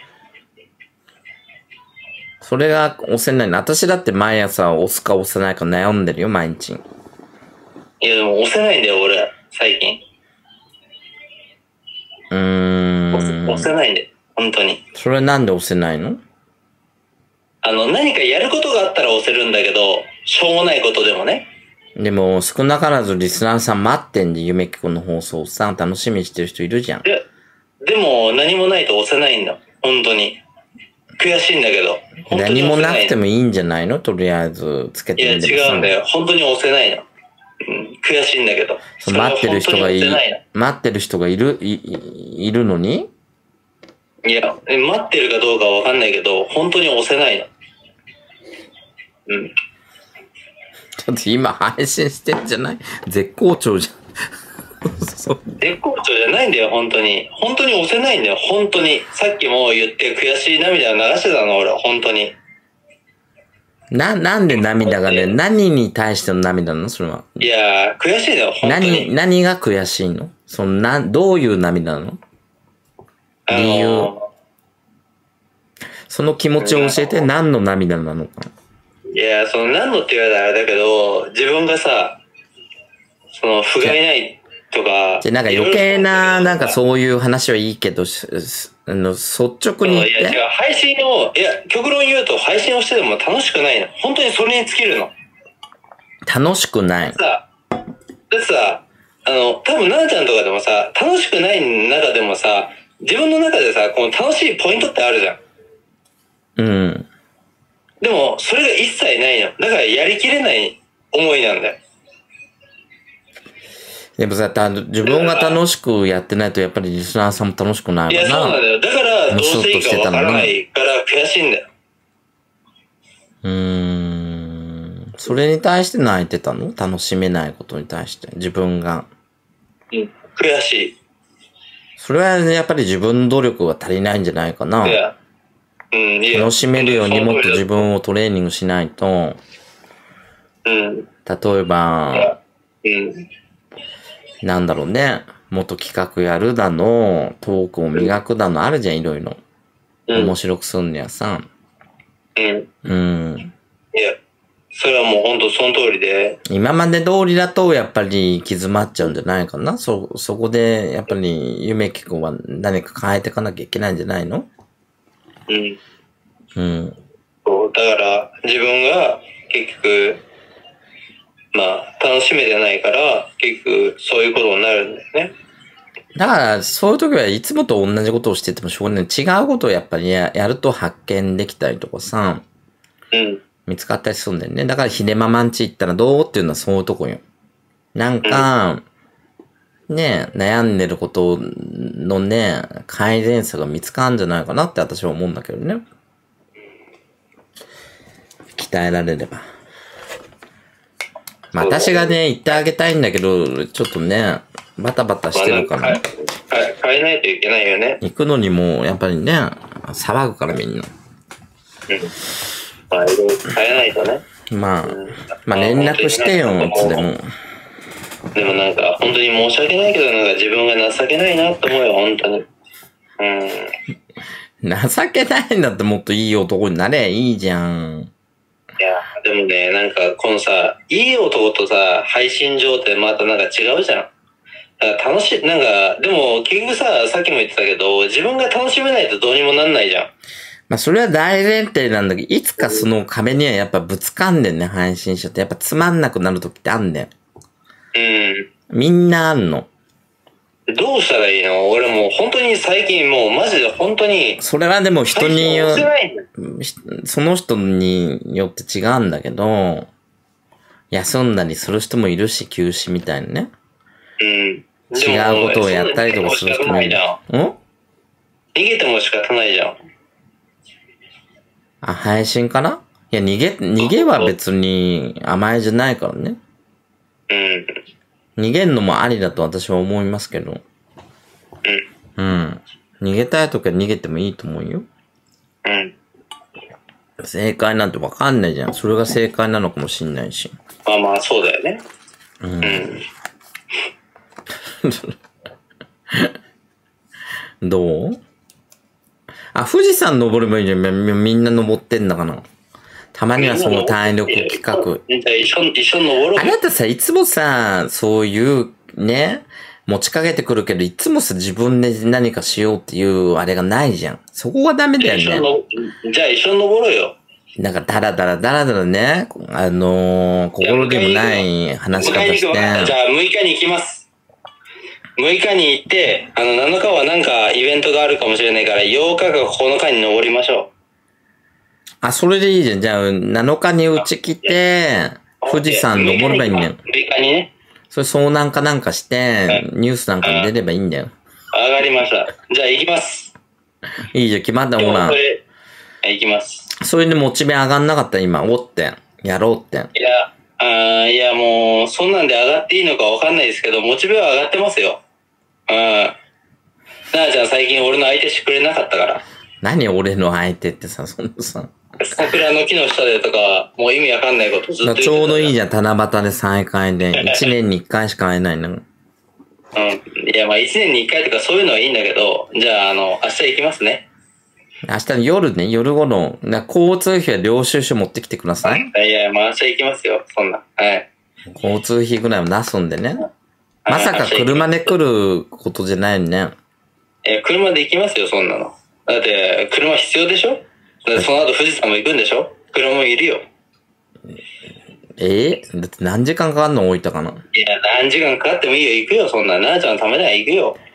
昼間も拾っていく？いや、昼間はいいけど、そんな、えー、二日ぐらいかかんじゃないの？車で来たの。2日もかかんないよ、行くよ。ああ、俺は起きたら行くから。今日一回、まあ今ちょっとお酒飲んじゃってるから、お酒、あの、寝て起きたら行くから。ちょっと俺のあの、山登りながら、あの、俺の愚痴でも聞いてよ。富士山って登ったことあんの？まあ俺は一応ないってことになってんだけど、本当はある。あるのね。じゃあいいじゃん。うん。本当はないってことになってんだけどね。強化合宿じゃないけどさ、体力系でいいんじゃないの？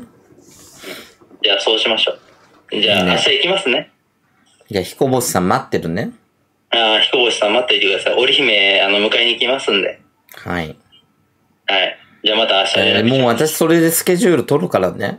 オーケー行くよ、行くよ。俺嘘つかないから行くよ、大丈夫。今週は結構ガチガチなんで、スケジュールいや、。行くいや行くよ、行く行く、大丈夫だから。行くよ。ねあきっちきっちりね。はい。だから6日の夜までには来て。その前、なんか夕方とかいないからさ、昼とか。え？もしもし。ゆめきくん？どうしちゃったの？切れてるのに切れてるのにまあ、いっか。わかってるよね。ってことだ。七夕に、じゃあ、彦星がやってくると。でも私、天才的ね。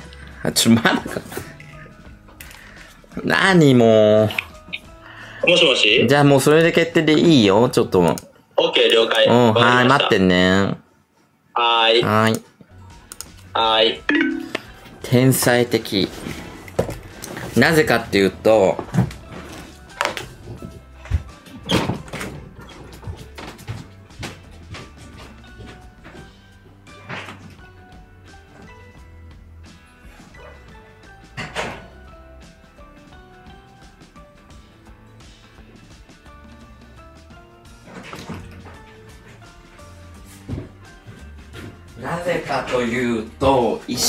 があるんですよね。まるで台本を作ったかのように。衣装が用意されてんですよ。こういうこともあるかなと思って。私分かっちゃうんで、そういうね。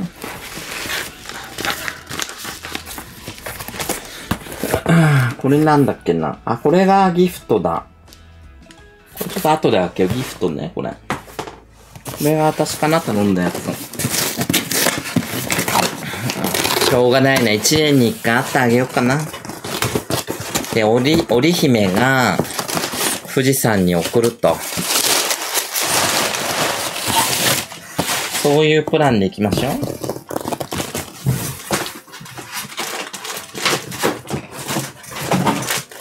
これが織姫の衣装ね。7日にやりますね。可愛いっしょ、ピンク色で。今年はピンク。去年は紫だったけど。で、これが、えーと、彦星さんの衣装ね。こっちの方がね、多分高いんだよ、男の方が。こっちの方が高め。で、彦星で、この衣装で登ればいいんじゃないの？どう？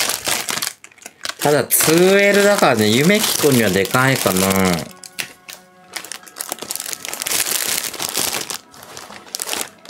あ、かっこいいじゃん。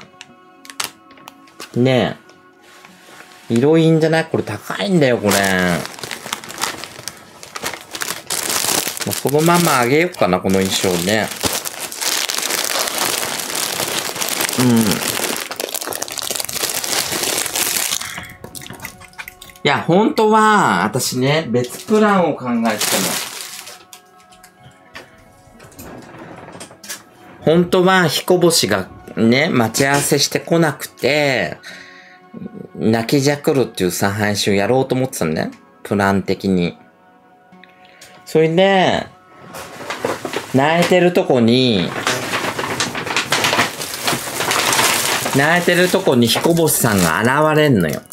私の考えてるね、そう、台本によると、現れたっつって、このね、空気の人形の、ね、宇宙人みたいな彦星さんが現れて、衣装を着さして一緒に帰るっていうさ、台本だったんだけど、あの、川かなんかでずっと待ってて、なかなか来なくて泣いてて、宇宙人みたいなね、彦星さんが来るっていうさ、そっちの方が良かった。でももう行っちゃったからね。行っちゃったじゃん。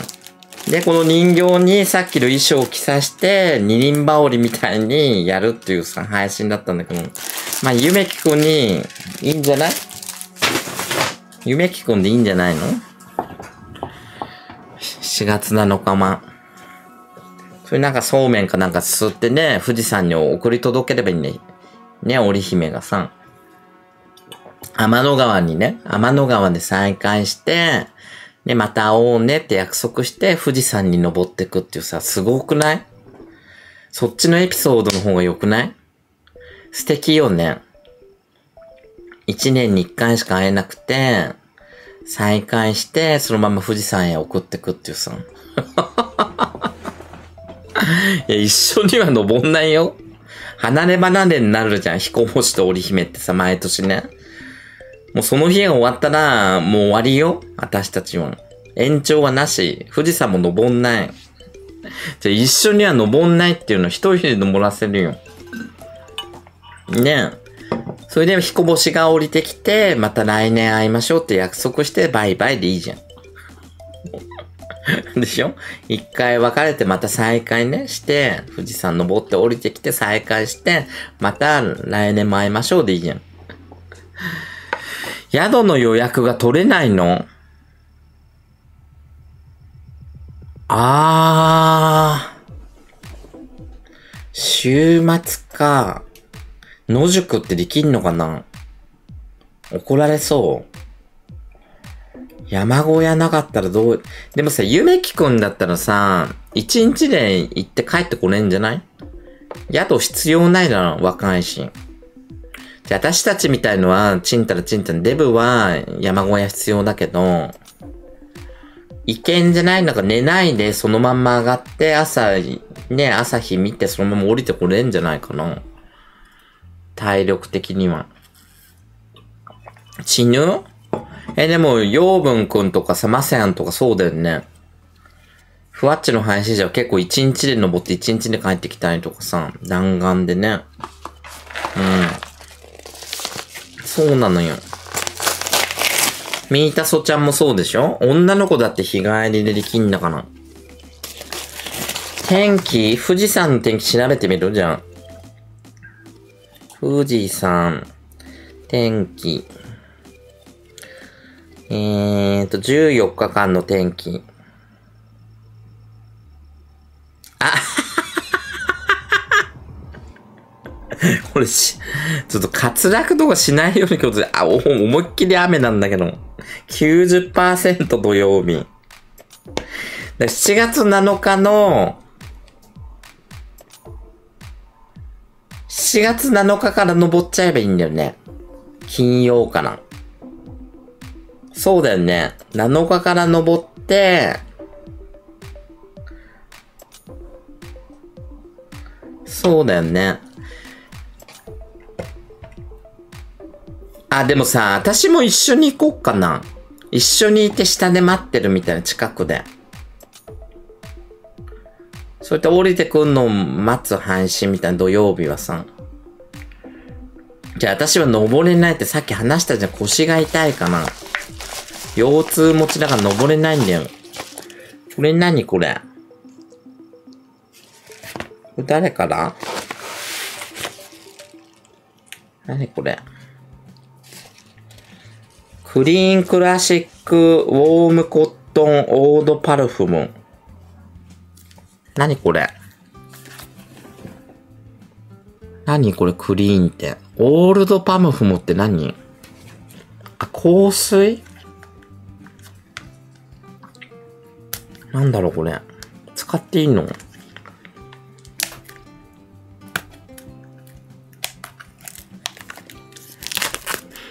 あ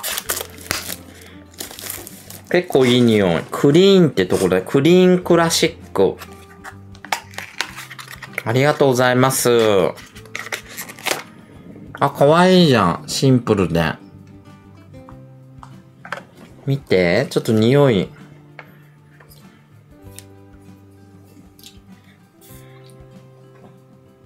あ、石鹸の匂いだね。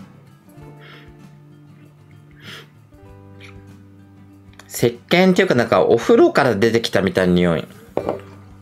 めっちゃ石鹸の匂いだ。いいじゃん、これ。爽やかで。話変えないで夢気を巻き込んでるかな？何が？何を怒ってんのさっきかな？もう決定は決定だかな？決定は決定。これいい匂いね。ありがとうございます。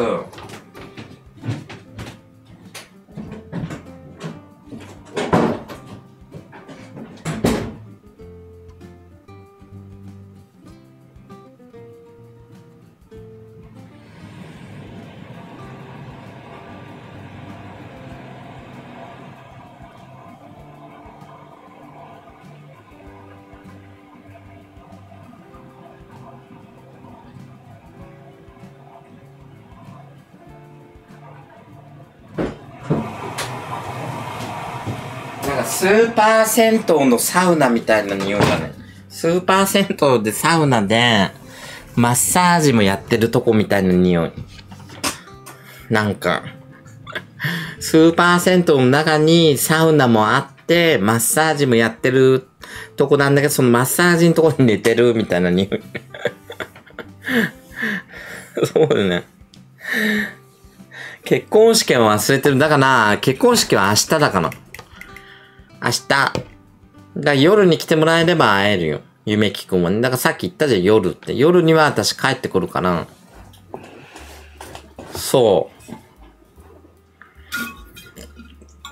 う。二次会は出ないと思うよ。二次会かな。あ、で、スーパーカー王子に乗せてってもらおうかなと思ったら、スーパーカー王子ね、お仕事なんだよ、明日。お仕事で現地集合って言われたんだよ。だから、明日家で配信して、自分で準備して、そっから、もう私が向かうしかないよね。うん。うん。そう、タクシーかなんかで行こうかな。だって今日前乗りだったら大変だもんね。今週、夢木も来るとしたら。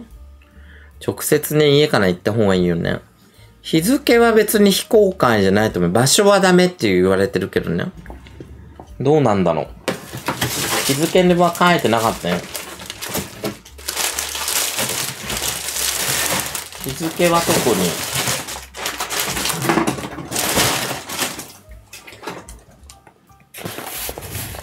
うん。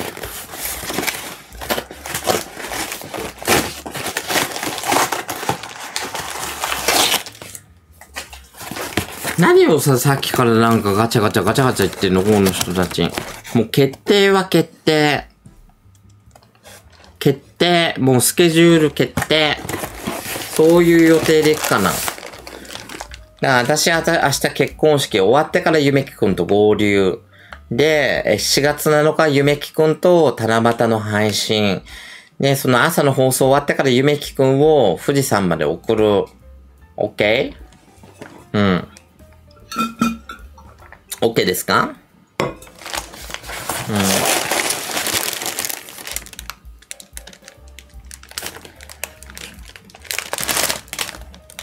え、また？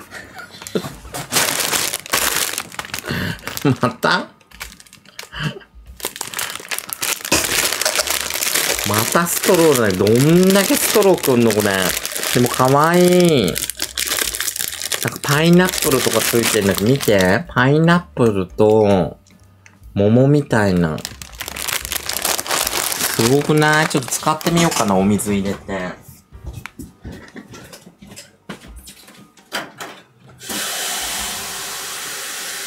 かわいいじゃん。フラミンゴ？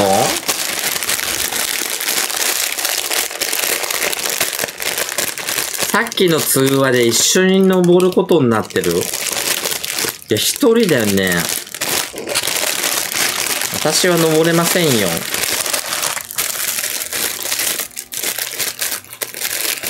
あ、パイナップルと、フラミンゴの2種類かな、これ。どっち使う？フラミンゴかわいいね。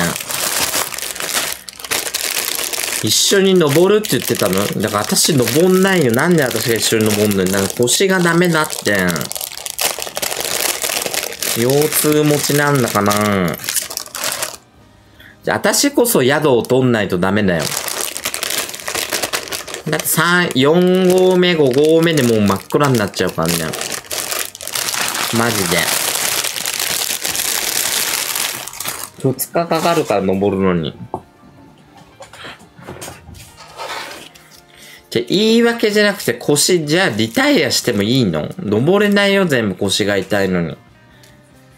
別に登ってもいいけど途中で降りてくることになるよ。えー、これ何これ？すごい伸びるフラミンゴちゃんが見て。ほら。何これ？可愛くない？これ。こうやって。ねえ。いや、邪魔だけどね、邪魔だけど可愛いみたいな。一周させるのあ、それでここに入れんのかなこの、こういう風にキュッてやるのかなこういうこと？こうやってやるのキュッてはめて。どう？これかわいいよね。パイナップルだとどうなるんだろう？パイナップルもやってみる？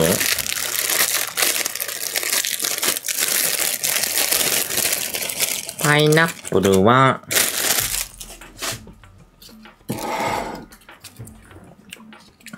あ、パイナップルはこう、おー、すごーい。見て、これ見えた今。ぐるーっとなるんだ。それで、これはあれ引っ掛けるとこないね。えー、これないんだけど、ここに入れんのかな、中に。こういう感じだ。どう？パイナップルも可愛いね。夏らしくていいよね、これね、めっちゃね。こうやって飾っておくのにもいいんじゃない？こうやって。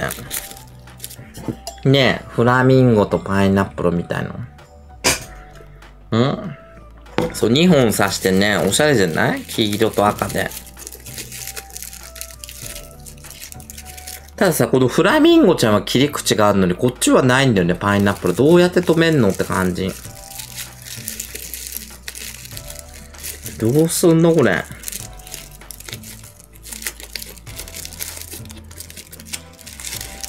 かける場所がないんだよね。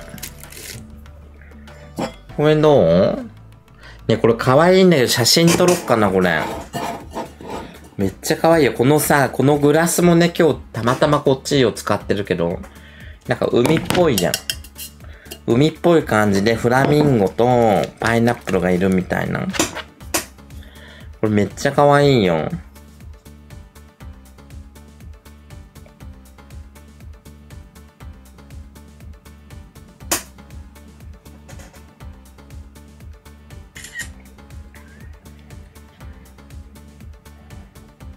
見て。なんかトロピカルジュースとかの方が合うかもね。ねえ、夏っぽくていいっしょかわいいっしょ フラミンゴをちゃんとつけてよ。いや、ちゃんとついてるっしょ。どういうことちゃんとつけてってついてるじゃないの。あ、もっとギュッとやるってこと？こういう感じね。なんかよくわかんない。どれが正解なのかよくわかんないけど。うん。もっとアップで見せてほしい？ほら。こういう感じ。で、こっちがパイナップル。パイナップルちょっと取れちゃったけどね。これがね、止めるとこがないんだよ。だか、どうやるの？こうやってキュッてやるのかな？こうやって。パイナップルってちょっとさ、なんつうの、丸っぽいじゃなくて、キュって感じでね、ここれが正しいのかなこの感じね。うん。かわいいね。あ、ちょっと待ってね、今日の、おニュース、全然やってなかったね。まず、もうバーってニュースやっていくよ。もう10、今日メンテナンス入っちゃうから時間通りにやらないとまたね、遅れちゃうんで。え、今日のニュース、この新橋のガス爆発、これすごいね。この映像みんな見た？すんごい爆発したよね、これね。新橋のガス爆発。すごいよね。配管の接、接続部分になんか問題があったみたい。かなりドーンって感じるね。あ赤、あの、オレンジの光みたいな、ペーンっつってさ。それでもう、ガラスとかベーンって飛んじゃって、みたいな。そう、昨日のニュースなんだけど、うん。昨日じゃない ?2 日前か。でも2日前だけど、新情報だからね。これ今日出たニュースだから。朝。その原因みたいのがまだし調べられてこういう風に出てきましたよっていう話よ。うるさいよね、いちいちね。今テレビでもやってんしょ、これ。うるさくね？いちいち。なんか文句つけたがりが多いよね。なんでそうやってさ、文句ばっかつけんの？そうやってさ、文句つけたがりの人ってさ、絶対顔歪んでるよね。私みたいに。で、顔歪んで、なんとかだよとか言ってさ、ねえ、そんな二日前の、二日前のルーフよみたいな感じでしょ？本当に。ダメだよ、なるちゃ、そんな二日前のニュース出しちゃってさとか言ってさ、こんな顔してんだ、どうせ。ふざけんなね。で、あとね、なんか家系ラーメンが出るんだって、寿司、あの、かっぱ寿司で。でもさ、そんなにさ、今までラーメンってあったよね。そんなに騒ぐこと？みたいな感じ。今まであったよね。ラーメンとかうどんとかね。あの、回転寿司でね。そんなになんか目新しくもないかな、みたいな。うん。なんか普通だよね。インパクトだよね。家系ラーメンつってもさ。まあ、好きな人は好きでいいと思うんだけど。あ、男梅はね、送った。結局、あの、男梅オーディションでね、私2枚の写真を送ったんですけど、えーとね、結局送ったやつがね、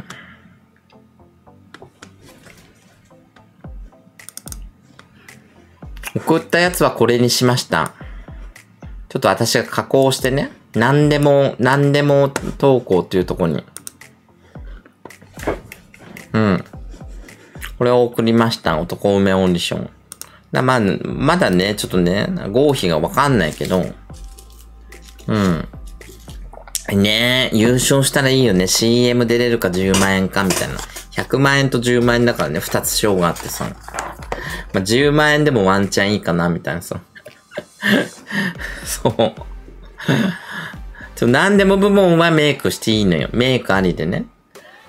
本気、本気部門っていうのがもう一つあって、そっちはメイクとか加工とかね、ペイントはダメなんだよ。それはそれで私募集してるんね。もう一回見たい？もうめんどくさいなぁ。これ、もう一回見たな。これね、これ。これを募集したの。男梅オーディションに。これ何でも部門。加工ありの何でも部門。うん。で、あとは、みんなのね、加工なしバージョンだと、みんなが選んでくれたこちらね。加工なしは、えっ、ー、と、こっちを選んだのよ。これね、加工なしバージョンだとこれ。すっぴんのね。これを送りました。こっちの方は CM がかかってるからね、本気で行きました、私。ね。だその合否はちょっとね、まあ、10月とか11月だっけ？そんぐらいにわかるみたいなから、まあ、楽しみにしてましょうって感じで。ね。で、次々行きますよ。ちょっとニュースコーナーね。はい、オナニーのニュース。え、霊長類は4000万年前から G 行為を行っていた。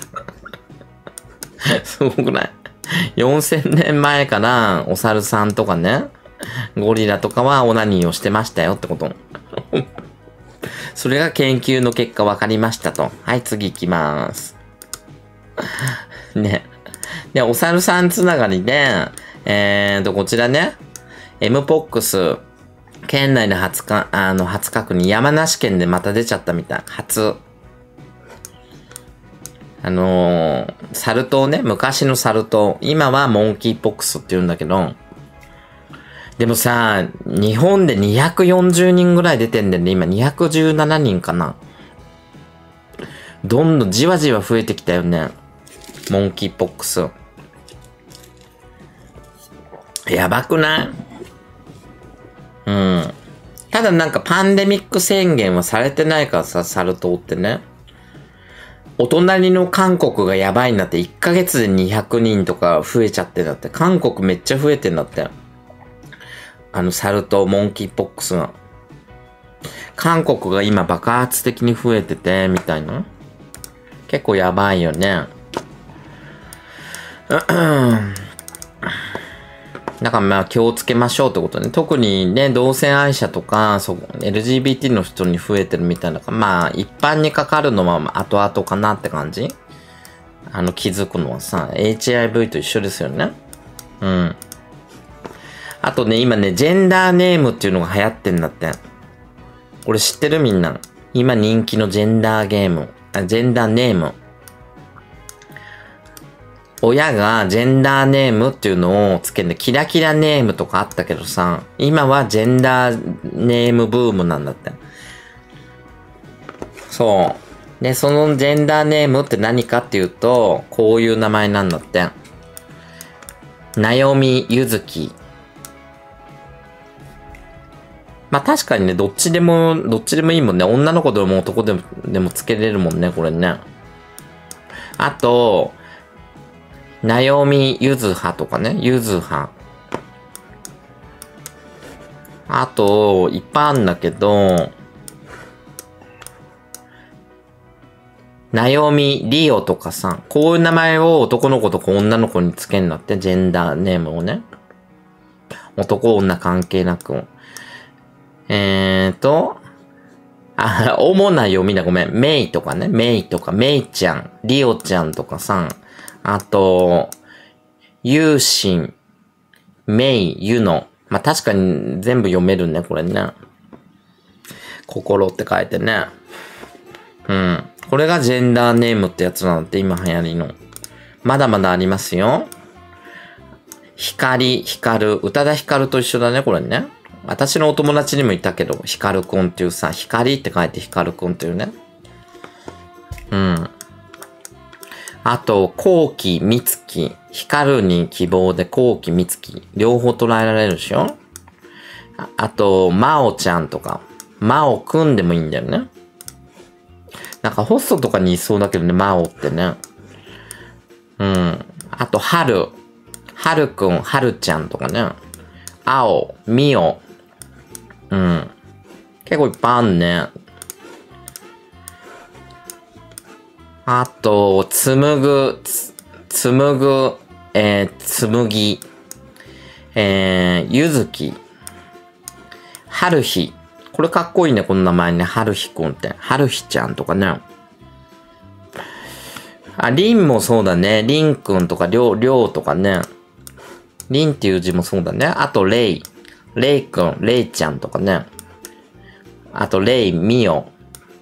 こっちのれいね。もう一個の。だからまあ、どっちでも唱えられるね。ジェンダーレスネームっていうのはこういうのを言うんだって。今流行ってんだって。ジェンダーレスブームが来てんじゃないの？親まで、親まで侵食されてるっていうの。いや、昔からあるけどね、秀ママなんてもろそうじゃん。神田秀美だから、ねえ、女の子みたいな名前だけど、秀ママって秀美っていう名前なんだよ。秀に美しいって書いてね。まあ、ジェンダーレスネームだよね。うん。うん。私みたいに摩擦だったらもろ男っぽいけど、こういうなんか中間的な感じが流行ってると。うん。で、あと、えっ、と、時間あるかな？はい、高校生のウエストの平均はどれぐらいと。女子高校生とか男子かな？これ男子も含めかな？ウエストの平均値はどれぐらいかっていうの。みんな大体どれぐらいだと思う？高校生の平均値。ウエスト。今の子ね。はい。こちら、高校1年生67センチ。えー、高校2年生67.8。高校3年生67.9センチだって。意外とは太いね。50ぐらいかと思ったの。で、平均身長が157から158ぐらい。まあでも普通だよね。うん。で、身長別の平均ウエスト、140センチだと60、145だと62、えー150センチだと64.5、155センチだと66.8。えー、で、私は170だから、73.1が平均値だって。これは女の子だと思うよ、多分。男じゃないよね、これね。男はもっと太いしよ。女か男どっち？これ。どうなんだろう。男の子の方が今細いんだ、逆に。だから私の身長で言うと73.1ぐらいが平均値ってことだよな。私120とかあるかな。ねえ、180センチで賄いきれないみたいなさ。じゃあ私メジャーがないんでメジャーが。多分120ぐらいだと思うよ。120。100から120ぐらいだと思う。洋服のサイズによるとね。うん。じゃあ次のニュース。はい。パパ活には税金がかかると。ね。パパ活をしてる人は気をつけてくださいね。追徴課税にかかってる人がたくさんいるんだって。パパ活は、ね。普通のあの、百何十万円って規定あるじゃん。えっ、と、お小遣いとかさ、お年玉とか、あそこには引っかかんないみたい。なお仕事としてパパ活は見てるみたい。あの、税務署の人たちもね。うん。そう、贈与税とかそっちには値しなくて、お仕事として見てるんだって。だから、通帳課税食らってる人は結構多いみたいな。私のお布施は、だって、お布施じゃん。ね？お仕事ではないじゃん。だからあれは、年間百何十万円超えなければ税金かかんない。うん。ただ、パパ活っていうのは、ねご飯を食べたり、エッチしたりとかするから仕事になるんだって。ね？税務署の判断はそういうことよ。うん。どうやってバレるの？へえ、バレんじゃないんだって口座の動きとか見てればわかんじゃないの？お金出したとか入れたとかさ。明らかにだってお金減ってなくて、ねえ、なんか物が増えててもおかしいし、みたいな。まあ密告とかも多分あると思うよ。いや、手渡しだからバレないっていう時代じゃないんですよ。バレてるからね、みんな。バレてるよ。手渡しだからバレないってわけじゃない。そのお金のね、プラスマイナス全部見られてんだから、銀行の中。手渡しでもらってるからバレないじゃないの。だったらみんな手渡しでもらうじゃんだってる。うん。いや、バレなくない。うん。だからなんでバレんの？じゃあ、例えば、じゃあこっちでさ、税金を払ってたとするじゃん、本職で。明らかに、じゃあこっちから収入あってこっちのお金を使ったりとかね。してたらおかしいじゃん。だって誤差が生まれてくる。その誤差で、ね、おかしいってなるでしょいや、銀行入れてないとしても、ね、明らかにそこら辺の差でわかるじゃん。言ってる意味わかる？じゃ入れなきゃばバレないじゃなくて他に収入があって手渡しもらってて、収入があったらバレるっちゅうねん。あなたたちプロだよ。じゃバレるの、バレるから、だって今ガンガンやられてんでしょ。バレるの？バレんだって。そうだよ。だからそういうのも多分税務署の人は調べてると思うよ。パパ活のなんかサイトとかやってることが全部調べ上げてると思う。だから、通帳課税食らうんでしょ？そういうふうに税金払ってくださいって。いや、証拠がないって何が？だって税務署の人が入ったら嘘なんかつけないんだよ。隠せないんだから。嘘ついたら捕まるからね。さらに税金高くなったりとか、正直に言うしかないんだから。一回税務署の人がね、あのー、マルサなんか入ったりとかしたら、税務調査になったら嘘なんかつけ、嘘ついちゃダメなんだよ。ついたら余計ね、税金高くなるし、そうだよ。うん。あ、ゼリちゃんお茶爆 thank you。うん。いや、私もちゃんと言ったよ。お布施の分はちゃんと申告したのよ。そしたら、あ、それは大丈夫ですって言われたもん。税務署の人に。年間いくらいくら超えてないかな。で、自分で言ったよ。ちゃんともらってますってお布施ね。でも全部が全部、あのー、大体の額ね。大体こんぐらいもらってますと。うん。まとめてね。うん。まあ、超えてないって言ってるけど、その人数がやっぱりね、多かったな。やっぱりそうで、さっき言ってたじゃん、証拠がないっていうの。だからそういうなんか少額のものは別に言わなくてもいいって言ってた。そ、そこまでしないって。例えば10万円もらったとか100万円もらったとかだったら、あのー問題だけど、1000円とかさ、1万円のレベルじゃ言わないんでね。税務署の人って。うん、もらってても。で、パパ活は結構ギリギリじゃないんでね。1万円超えてるし、多分ね。5万円とか10万円もらってる。高額だからやっぱり目つけられるんじゃないかなってさ。ゆめきくんが行かない？もうどっちなの？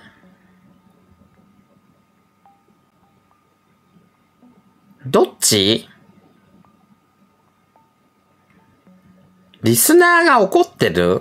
そこで行かせないリスナーがバカだわな。だったらアイテム投げてやれよ困ってんだったらさ。そうでね、家に、家から出さないように、あえて爆投げしてね、プラチナプラスに戻してやれよ。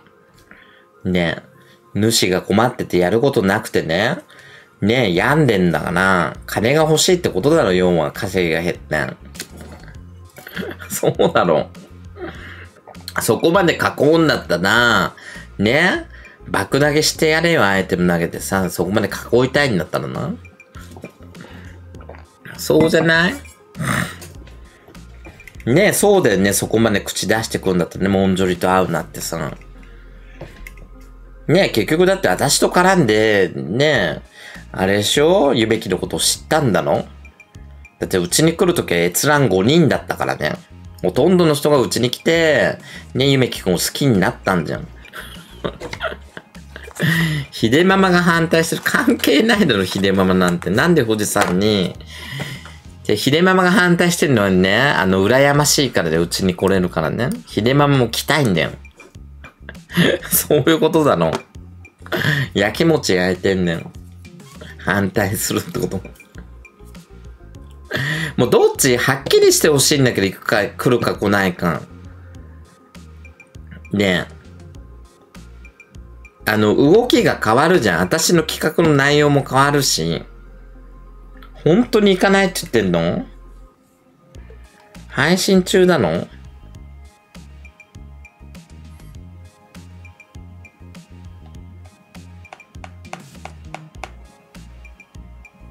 もう一回電話して確認するわん。来ないんだったら来ないでいいんだけどね。はっきりしてほしいよね。もう明日、明後日の話だから。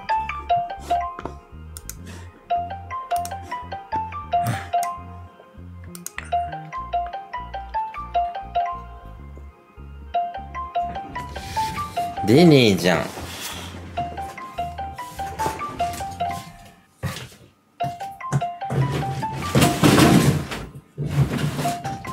出なくない？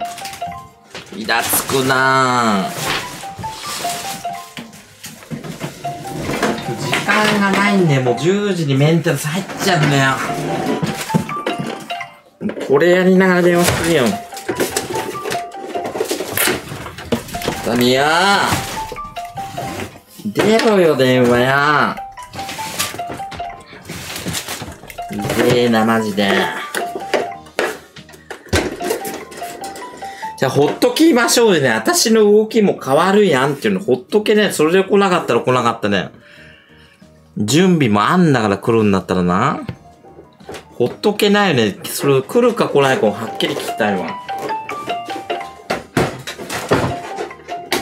じゃねえの？土曜日の企画だって変わるんだよ、私。土曜日も企画でね、私泊まりに行こうかと思ってんだよ。土曜日。それを変更しなきゃいけないし、宿も取んなきゃいけない企画なのね、土曜日の元々の予定は。電話が鳴ってない？なんで鳴ってないの？あ、来た来た。ゆめきくん？はいはい。なんかやっぱ来ないっていう情報が入ってきたの、本当？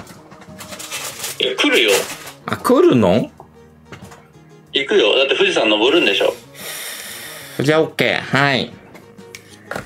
来るってみんな、来るって登るでし。ょ？え？富士山登るでしょ。じゃあ私は登れないの、ほら俺腰が。俺の方には来てたよ。なんかあんた一人登りなよみたいな。おちょっとね、腰が私痛いんだよ。だ途中までは登れると思うけど、降りてくることになると思う。い大丈夫だよ。俺、俺、あの、よしよしするの得意だから。や、本当に腰が痛いの、私は。4年間で。も、チロ、チロチロするの俺得意だから。チロチロって何？いや、チロチロするの得意なんだよ、俺。だからチロチロって先っぽの何方チロチロするの得意だから。チワチワ？うん。先っぽの方チロチロするの得意だから。やったことないだろ。あない。私が逆にやってあげたじゃない、チロチロ。ドライヤーで。えやって、やってもらったことねえよ。ドライヤーでチロチロしたじゃないの。あ、ドライヤーはね。うんまた、また頼むわ、それは。はぁ ね？はあ？って。何がまた頼むんだよ。ま、またあの、チンドラはやっぱり、あの、あの、いろいろ、一回だけよ。立ち代わり。一回だけしかしないからね、もんね。うん。でも一生懸命登るよ、二人で。じゃ、だから私腰が痛いから登れないの、本当に。登りたい気持ちはあるんだけど。それは。じゃ、迷惑かけるんだよ、途中で。だって痛くなって降いやいりれ、やいやいや。でも行けるとこまで一緒に行こう。でも降りるのにも大変でしょ？いやいやいやいや痛くなっちゃったの。いでも一緒に行こうよ、そこは。行けるとこまで。や、富士山には一緒に行ってあげるよ、土曜日じゃん。うん。で、い行けるとこまで一緒に行こう。じゃ、なん、何時に登るの？いや、わかんないよ。それは任せるけど。だから、とりあえず俺は明日行けばいいんでしょ？明日夜来るとして、じゃあ7日の企画で、じゃあ7日から行っちゃえばいいんだよ、ゆめきくん。うん。だから登って、だからそれゆっくり登れるとこまで登ろうよ。俺腰させるの得意だから。あ？腰に刺さるの得意？だってあなた今酔っ払ってんじゃないの？酔っ払ってない。でも行っちゃったらダメだよ。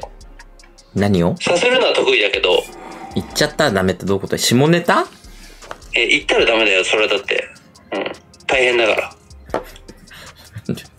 パンパンなの、金玉。も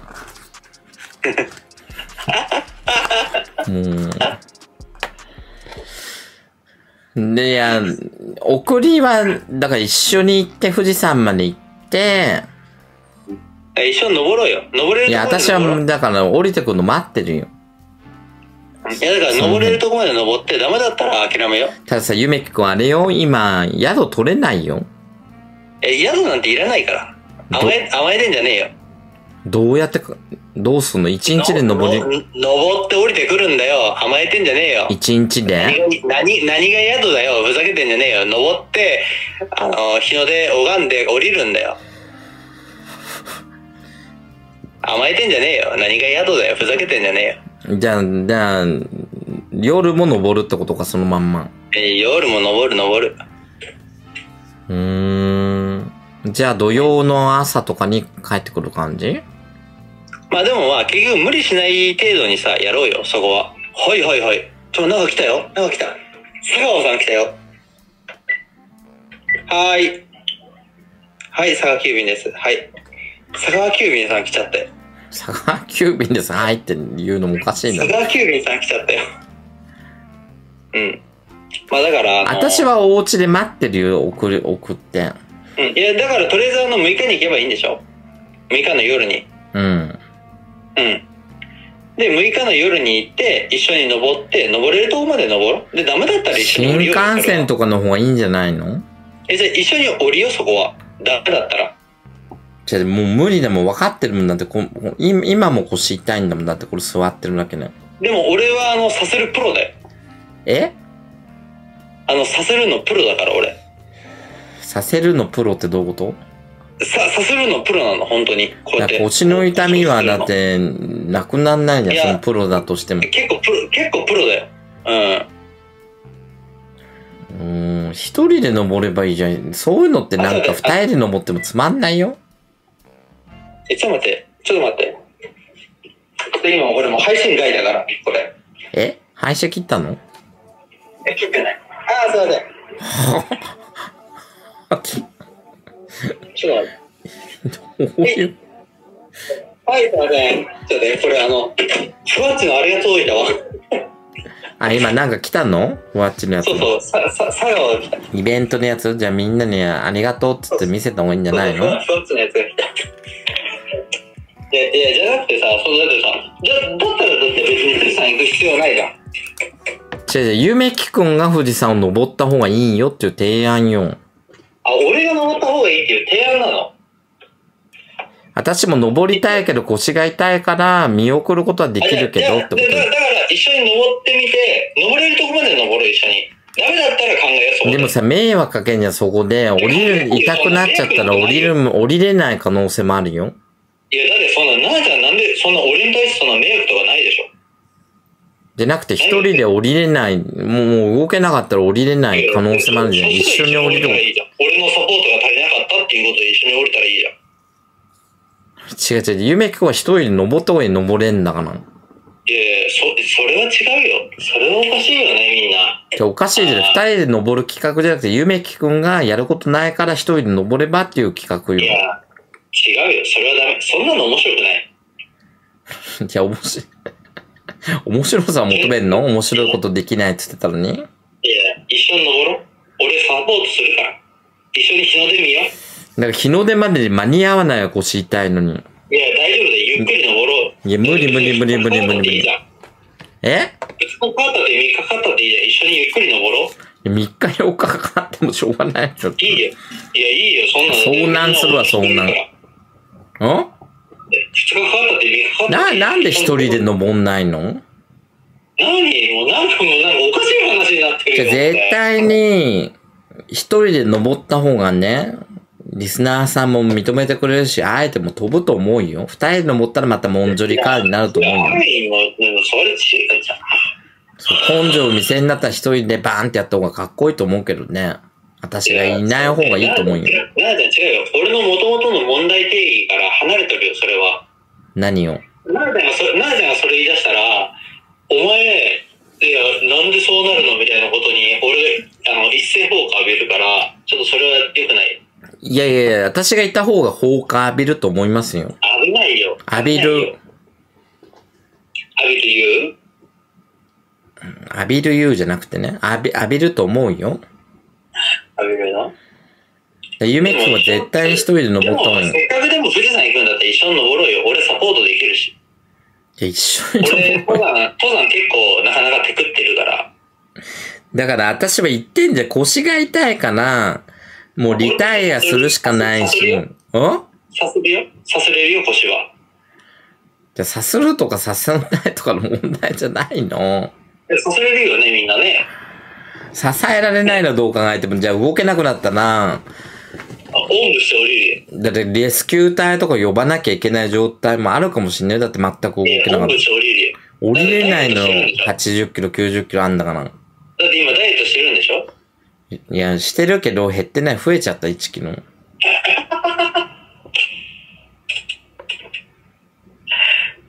じゃあどうすんだよ。でも一緒に登ろう。でもそれはさ、できるかできないかは別の話じゃん。登ってみようよ、一緒に。じゃあ、登るのはいいんだけど、腰が痛いから、そう、ダメだっていうのじゃあ。七夕の日行くんだったら、じゃあどうする？じゃあ、あのー、パチンコ行く？二人で。なんでパチンコ行くの？意味がわかんない。パチパチンコ企画やる？なんで？富士山って言ってんで、あなたが富士山一人で登るんでしょ？俺富士山言ってないけどな。7月7日。いや、さっきやるって言ったよね。一人で登るって言ったよね。登ろうよ、一緒に。いなんで二人で登ろうになって今度パチンコになってんの？や、わかんない。なあちゃんが腰痛いって言うから。ちょちょちょ最初からゆめくん一人で登る予定よ？そうなの？今、ちょっと待ってみんみんなそんな予定だった？俺一人で登る予定だった？送るよって言ったじゃん。俺一人で登る予定だじゃなかったよね。だからそのさ、言った言わないはもうどうでもいいんだよ。だから登れない状況があるって言ってるでしょ。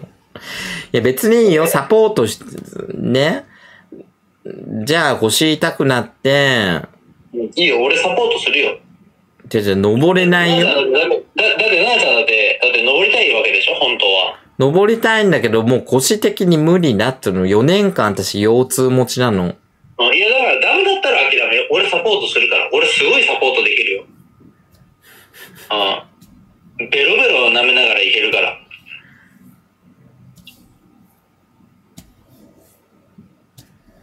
でもさ、迷惑かけるような気がすんだよね、腰、もう動けなくなって。どう思うみんな。そういう迷惑かけんのが。だって、だって俺別にそんな登るつもりじゃあ、ゆめきくんにじゃなくて、周りに迷惑あるからもう、山の人たちだって二人で登るんだから。ん？い二人で登るんだから周りに迷惑かけない。や、登るのはいいんだけど、最悪だって馬で降りたらいいんだから。じゃあ、登れなかったらどうすんの？登れなかったらゆめきくんは登れるんじゃん。登れるでしょ？あなた登れんでしょ？俺登れないよ。一緒じゃないと無理だよ。なあちゃんと二人だったら登れるけど、俺一人じゃ登れない。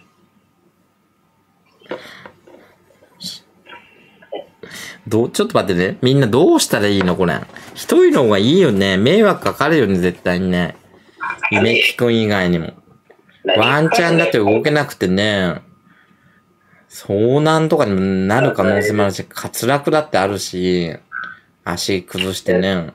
ダメだったら降りたらいいじゃん。ん？行けるとこまで行こうよ、一緒に。いや、山はな、私は舐めてないからさ、山は怖いよ。俺、いや、俺なんてないよ。だから、ダメだったら降りよ。じゃあ一応、じゃあ送るよさ。富士山な、富士山なんて言ったら悪いけど、別にいつだって登れるじゃん。別に、今回登れなかったから別にダメなわけじゃないじゃん。いつだって登れるじゃん。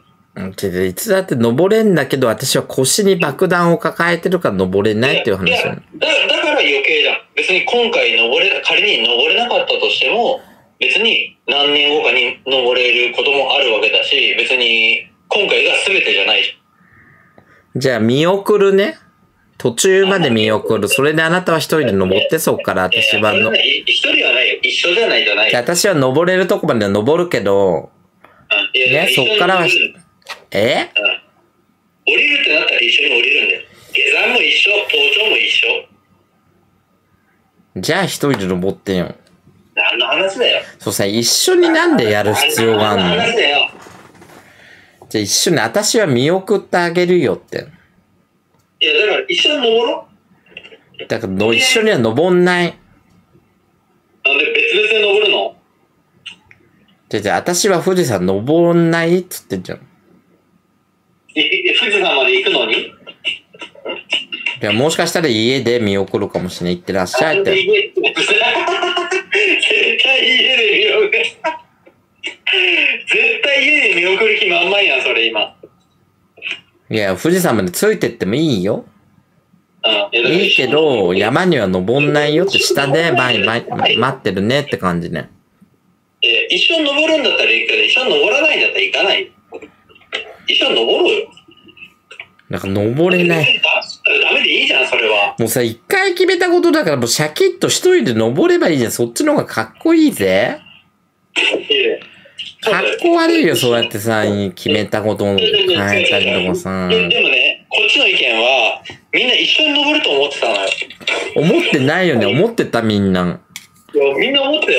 これいきなり一緒じゃないみたいな感じになっちゃって、これどうすんのよみたいな流れになってんの。いや、こっちにいるみんなは思ってないよ。だって登れないって理由、朝喋ってたしね。最初の方に。腰が痛いってでも俺のとこ。で一緒に行ってみよう。だから言ってんじゃん。だからね、その登るとこまでいいよ。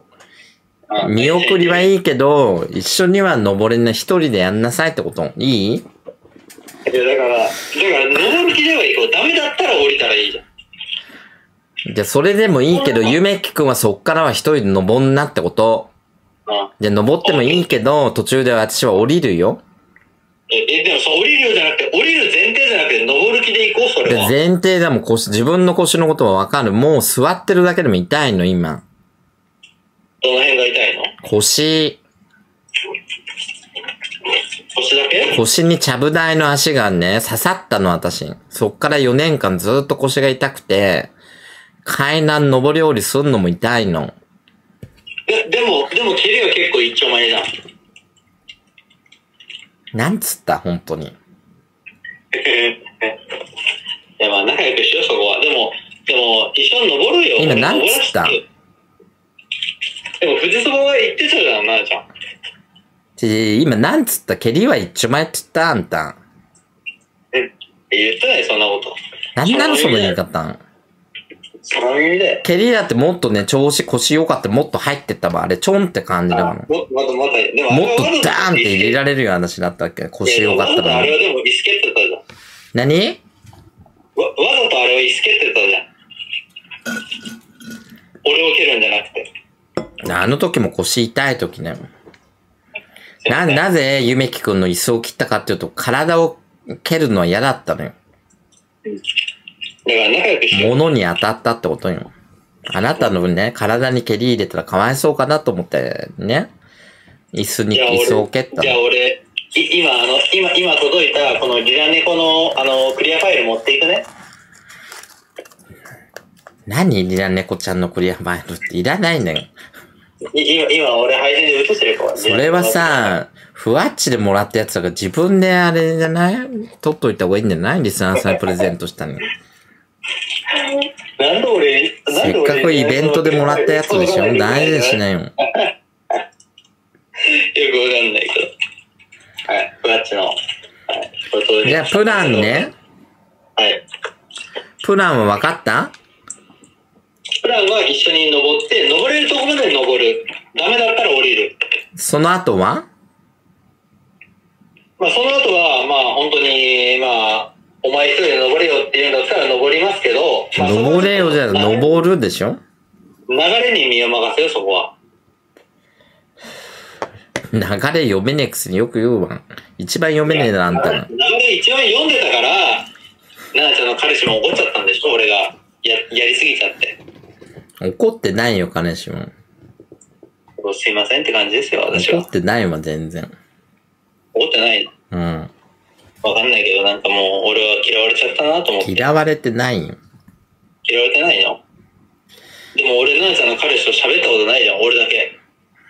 なんで喋らせる必要があるの？だって他のね、駒井くんとか喋ったじゃん。まあ喋ってるけど、ひでママとね、狛江くん。でも俺だけ喋ってないんだよ。喋りたいの？俺嫌われてんじゃねえかなと思って。嫌われてないっつうのよ。どうしてもやっぱり、まあ、それ嫌われても仕方ないとは思うんだけど、嫌われてんじゃねえかなと思って。嫌われてない？嫌われてないの？うん。そうと言うと余計気使うでしょ？だから一旦さ、だからさ、その、富士山はさ、あの、登る、登る努力はしてみよう。その、登る段取りはしていこうよ。だからするよ。だから、一応ね、もうリタイアは見えてるけど、ダメ、ダメだったら、ダメだったら、その時降りて考えよう。うん。それでいいじゃん。違う違う、送るよ。登らないよ、私も。最初から言っとく。え、違う違う。でも、でも一緒に行くでしょいや、行くし、途中まで登るけど降りるよって。それで下で待ってるよって。降りる前提じゃなくて、行けるとこまで行ってみよう、一緒に。えだって、なあちゃんだって一人だったら難しいかもしれないけど、俺いるんだよ、だって。じゃ、いたとしても、じゃあ、動けなくなったら担いで登れんのか、上まで。や登れないし。ダメだったら、お違う違う違う、なんで違う違う。ダメになったら降りようよ、それは。だってもうダメだ、もう痛いの、腰が。ここ座ってるだけで。じゃあもうダメじゃん、そんな。だから最初から言ってんじゃん、ダメだよって腰痛いから。座ってるだけで、座ってるだけで痛いってもうダメじゃん、それ。だから山登りできないが、登りたいって気持ちはあんだけどね、腰痛くなかったら。全然登るんだけど、私。でもディルドとかはどうなの？ディルドって何？あの、チンポの形したやつ。だセックスも痛いよ、私。あ、痛いんだ。うん。あ、今そういうのも結構きついんだ。そうだよ、あの、体によっても腰痛いから、あの、枕入れたりとかさ、タオル入れたりとか。ああ、じゃあ全部が全部そのいいわけではないんだね。うん、あんまりね、こう、衝動っていうか、動きがないよ、動きを、あなんつうのかな、緩和させるやり方とかね、足密着したりとかさ、うーん。うん、空、空打ちしないように気をつけたりとあ、かさ。ラウチして。ん？じゃタイミング合わない時あるじゃん。こうだったらいいよ。ただ、こう、こうなる時あるじゃん。あるよね。。こう。こうなんか、そういう時は腰が痛くなるのよか。ビビリビリってくるのよ。ああ、なるほどね。タイミングがね、ずれちゃうと。ああ、うん。裏、裏打ったらダメってことね。何の話をしてんのもう30分、あなた今日、今日はちなみに何の企画なんですか？ちょっと待って待って待って、待って待って待って、やばいやばい。ちょっと待ってもう無理だよ、これ。30分でできないよ。オリパ今日の企画はン。何なんですか？オリ、ちょっと夢聞く、そのまま喋ってて。うん、オッケー。今日の企画は何ですか皆さん？あね、もう俺、充電があとじあの10秒で、あの、あの、切れるって言ってた。うん。やばい、企画だし。今日な何やるって言ったの？相変わらずクズだね。確かにね。今日何やるって言ってたの？オリーパあ、もうじゃあ買ってるやつをもう今から剥く感じ？めっちゃ邪魔してるじゃん。ほんならば。メンテで10時まで、今何時？ちょっと待って、わかんない。それ今何時できるこれ、カード。できるか？ダッシュでやればできるかななんかオリバもう買ってきたの？違う、なんかネット上でオリパが弾けるサイトがあんだよ。この間、コレコレさんがやってたんだけど、ああ、なるほどね。あネットのやつね。うん。あ、それを買ってこれからやるってことね。そう、それをやりたいなと思ってたんだけど、もうメンテまであと30分だもんな、ツイキャスを。すいません。まあいいんだけど今日は美容院行かないですか？あ？今日は美容院行かないですか？この間言ってましたけど。なんで？メンバーシップ入ってんの？いや、入ってない。入ってんでしょ。いや、入ってない。俺入ったらダメだろうなと思って俺は入ってない。いや、入ってんでしょ。いや、入ってない。いや、本当に入ってない。俺がなんか入ったらダメだろうなと思って入ってない、これは。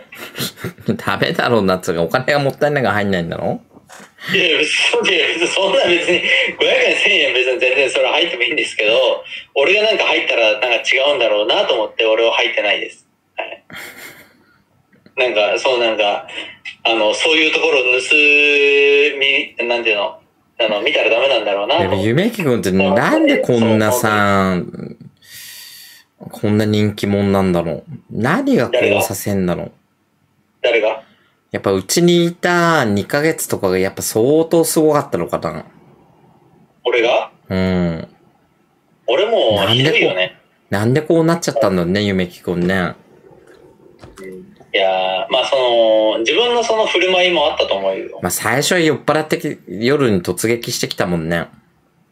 いやでもそれだけじゃないと思うんだよね。俺の振る舞いだと思うよ。本当に俺が悪かったと思うし。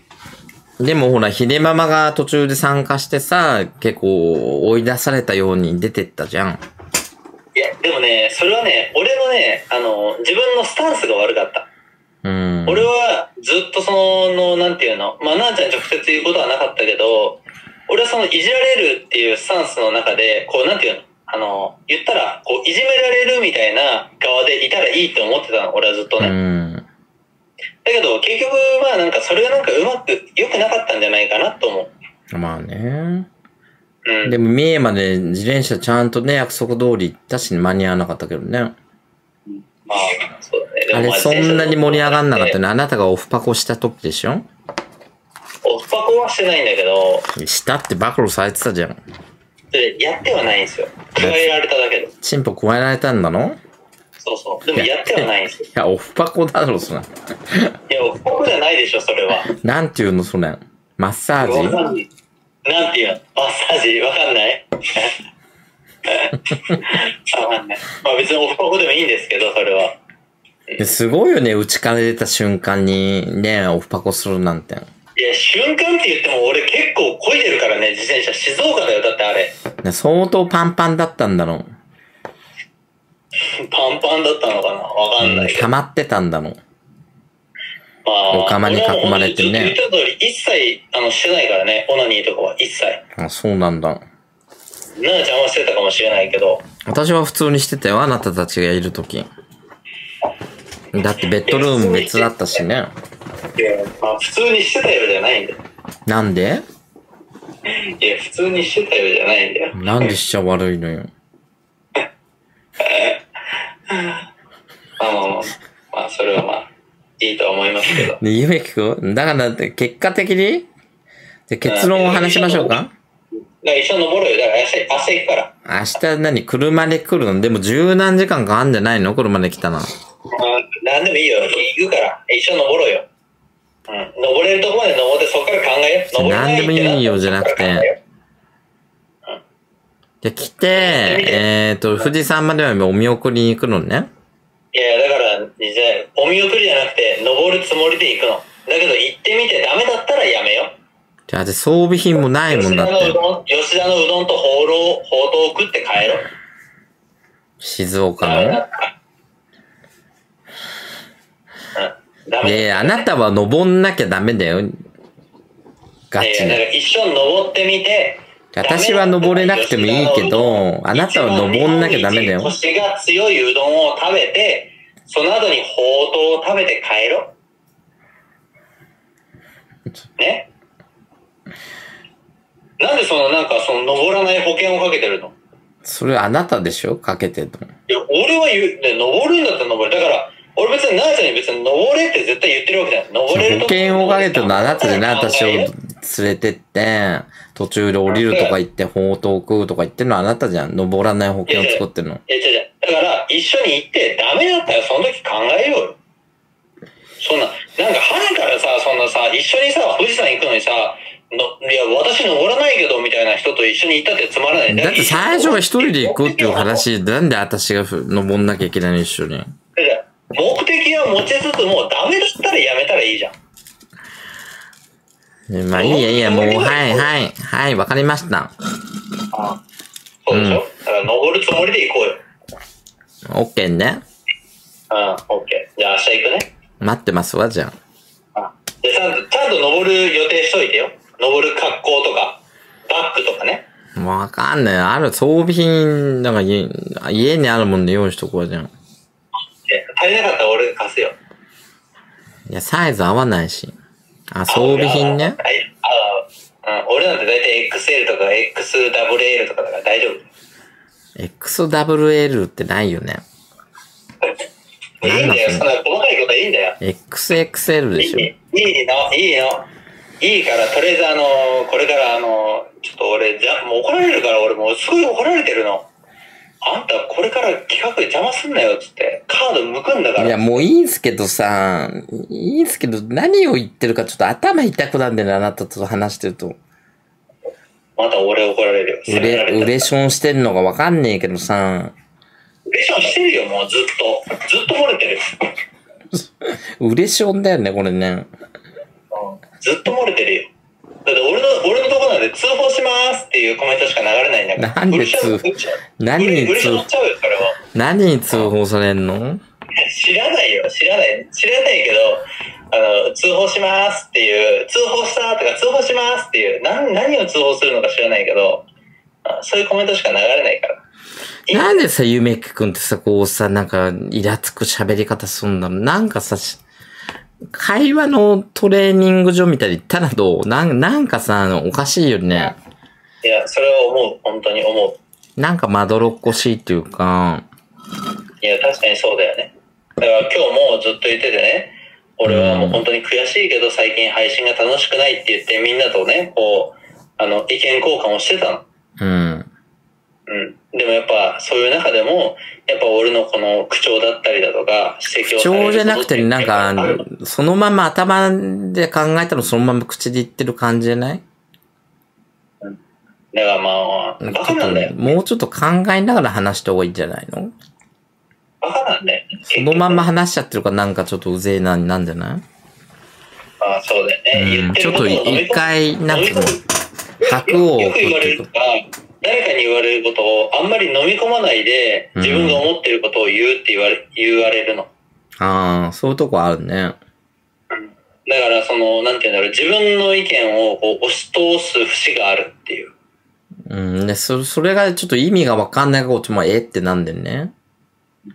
あ、そうだよね。あ悪いとこだよね、本当に。でも、いろいろ含めて、やっぱりさ、自分がさ、ここまで配信をさ、することが楽しく思えないっていうのはさ、結構自分に原因があるじゃん。うん。どうやってやっても。で、やっぱりそういうところに、やっぱそういうのってあると思うの。あなんか富士山で見つかればいいんじゃない？うん。まあ、ねそうだね。やる気が出ればさ、配信楽しいやって。で、リスナーさんも夢聞い配信楽しいとてね。思いたい、俺は。すごい思いたい。それは本当に。うん。ねそこでピシッと登って、ちょっとね、なんか見つかんじゃねえかなって私は思うんだよね。だから一緒に登ろう。登るけど、いいよ、登るよ。あだからその、その、けどとかはやめよう。その後の話はやめよう。一緒に登ろう。登れなかったら登れなかった時に考えよだから登ります。う。うん、登ろう。うん。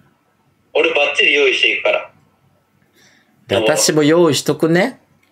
オッケオッケー。オッケー。じゃあ明日行きます。ーはい。はい。じゃあまた連絡します。はーい。はい。ひで、まあそうだよね。確かにね。一人で登れよ。まあそうだよね。確かにね。うんお前すごい。そうだよね。うん。切ったこと気づいてないじゃない？演技入ります。演技とかはないんだよ。もう投げません、バイバイ。誰よ、そんな、そんなこと言わなくてもいいじゃん。それでちょっと見る。なんだ、もう投げませんって。ひどいね。コメントさばきもひどいね。い一生切れないじゃん、これ。あし、気づいてんだ。気づいてんのね。ひどいなぁ。だもうその予定でいいみんな。一応登る手で多分もう腰ダメになったら降りてくる感じね。多分無理だと思うんだよ。今の感じだと。ねえ、私もじゃあ富士山登るけど、降りる前提でね。うん。結婚式は大丈夫だよ。だからもう無理はしない。もうダメな時はもうすぐ降りてくる。腰痛くなったの。まあ、一応薬とか持ってくけど、痛み止めね。もうダメそうっつったらもうだから1、1号目で降りてくればいいの。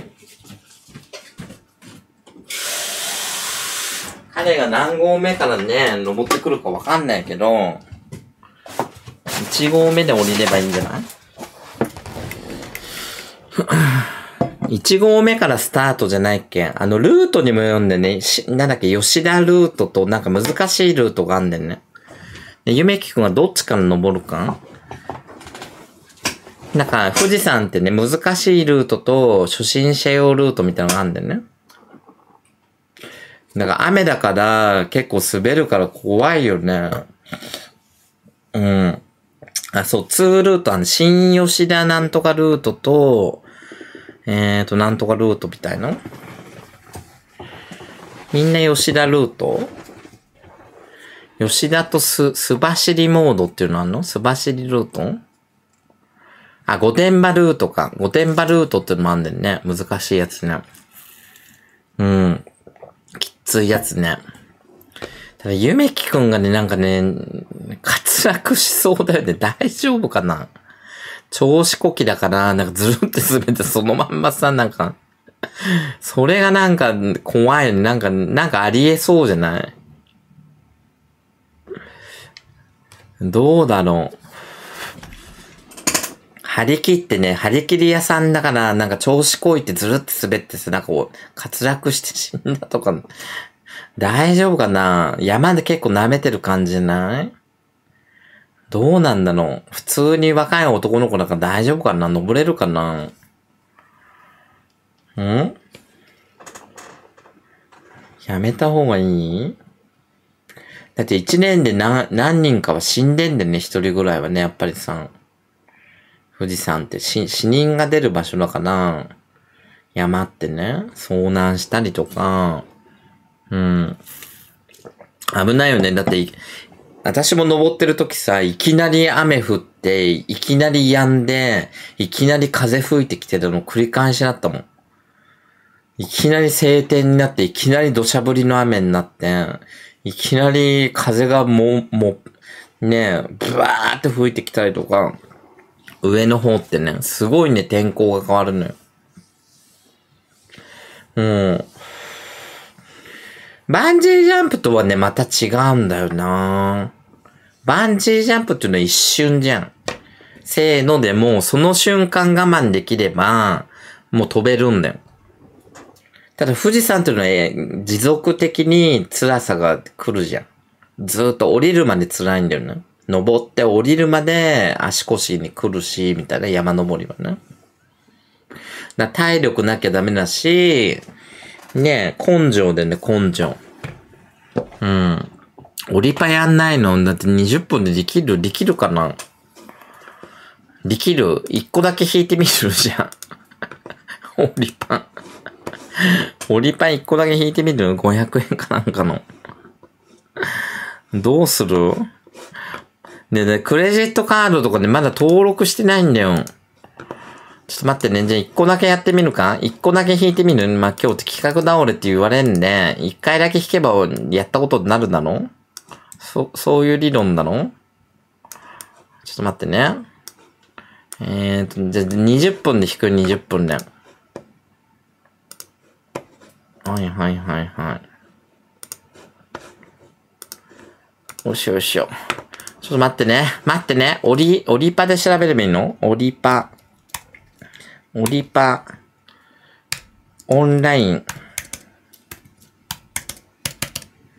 これこれさんとかね、30万とかやって私それずーっと見ちゃったのよ。うわって。すげえなって50万やろっかとか言ってて。ねえ、これこれさん。その放送私ずーっと見ちゃった。最初から最後まで。これやりたいなと思ってさ、真似しようと思ってさ。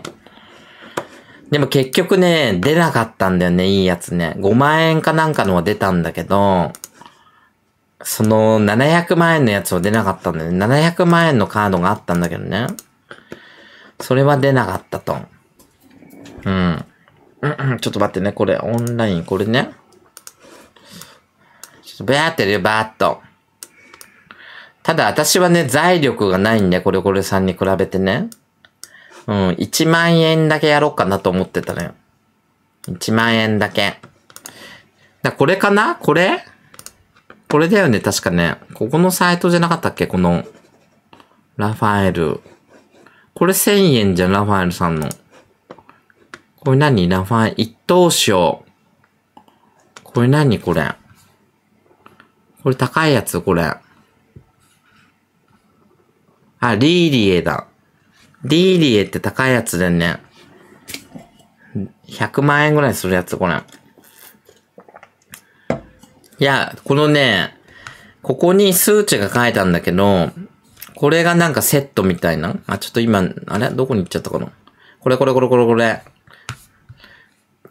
これ見える？みんな。残り、えー、64,574って書いてあるんで、在庫が10万で、だから入ってるか入ってないかもわかんないんだよね、ぶっちゃけね、こん中。でしょ？もう高いやつね、一回引くのに1000円だけど、出んのかな？どれやる？いろんなシリーズがあるんだけど、ラファエルバージョン？なんかこの、あ、ユン、万有のユンちゃんかなこれ。ユン、ユンちゃんのやつを。あと、なんか女の子シリーズみたいの？激アツバージョンとか。あ、これとか300円で弾けるじゃん、これ。これどう？これ意外と安いやつの方が出るんじゃない？残り29,773。だって他売り切れちゃってるもんね、これ下ね、ほら。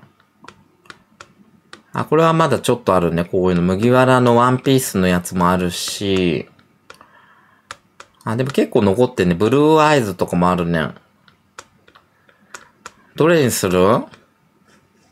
ただ時間的に1回しか弾けない。これいく？これ。ラファエルの。一番上にあるし。これ1000円のやつ。1000円を10回やる1万円分。1回1000円だよみんな。1回1000円。100回やったら 10, 10万だよ。メンテナンス号ダメ。あのー、メンバーシップやるからね。1回1000円でいいの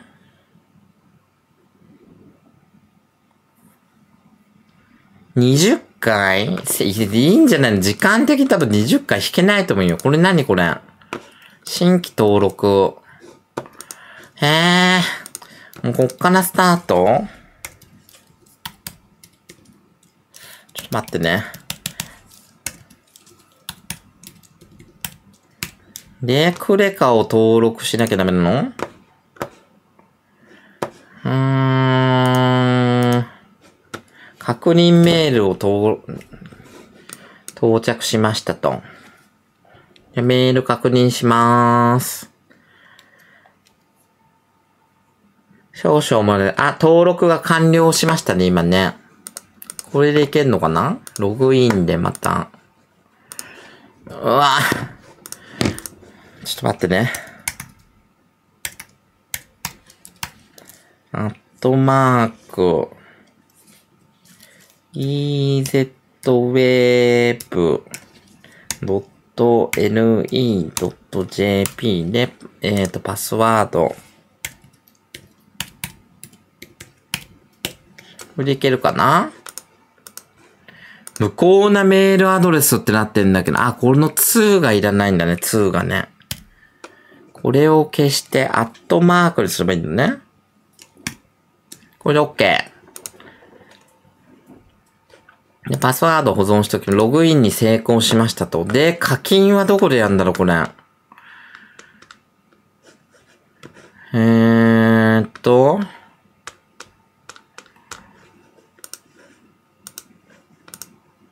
これだね、トップ、え？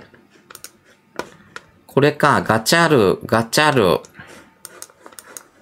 ガチャルを押せばいいのかな？これ。ポイントを購入する。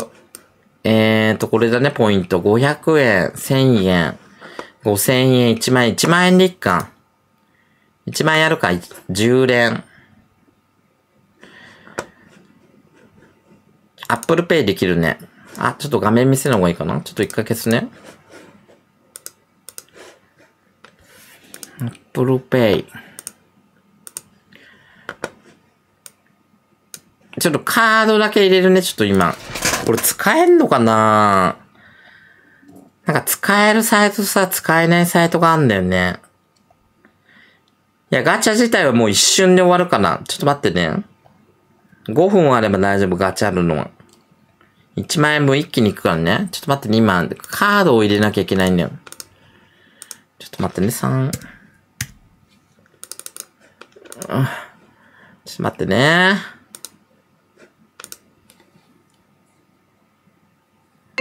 これだね、これ。ちょっと誰か電話がかってきたんだけど、これ誰？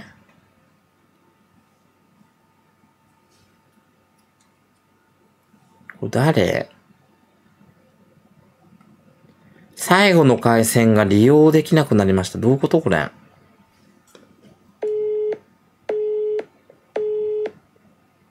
どういうこと？これ。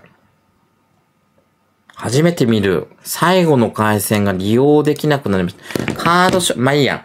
えっ、ー、と、カードの名前、藤沢正嗣。で、日本。で、えっ、ー、と、電話番号。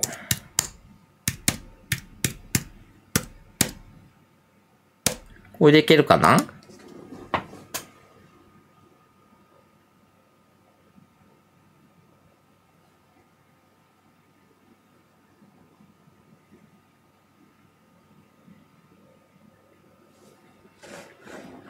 え？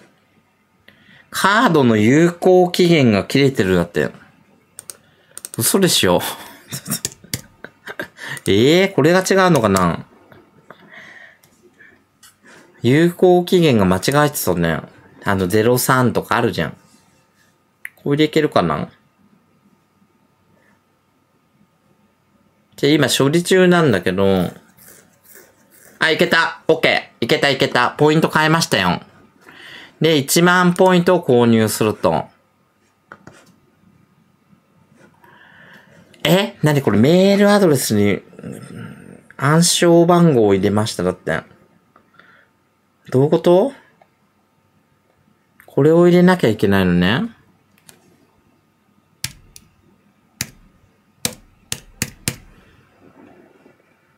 で、支払う。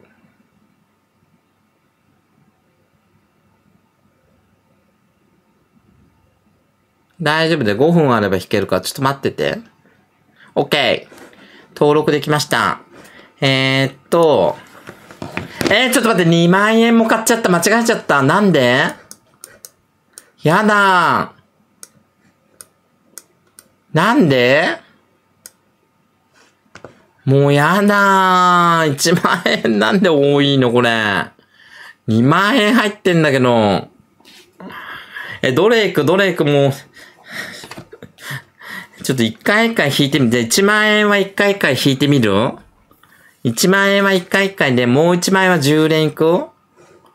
それと、ラファエルく？ラファエルこれ。これ中身ね、ちょっと見てみよう。どんな感じか。ラファエルバージョンは、えー、一等賞がこれだって。みんなわかるかな？見て。一等はこの女の子たち。あ、これ私知ってる。見たことある、これ。あ、セロラの、あ、ローランの仲間たち見てる。これ30万円ぐらいだよね。で、怖いお姉さんは20万円ぐらいかな？あとは、このファービー？ファービーとピカチュウとフーディー？まあ、ここら辺は10万円ぐらいかな？10万とか5万ぐらいでね。で、二等賞はまあこういうやつ？これキラキラみたいな。ねじゃ、まだ時間大丈夫かな？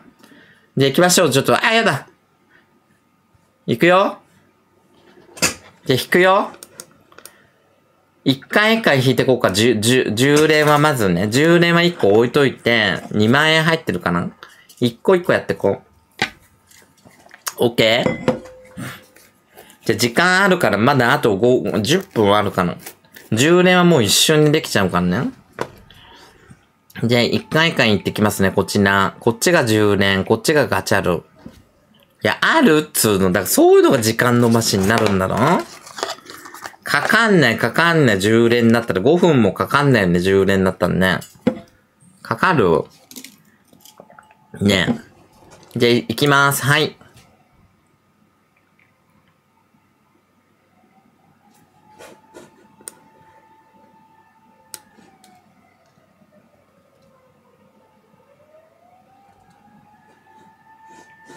え？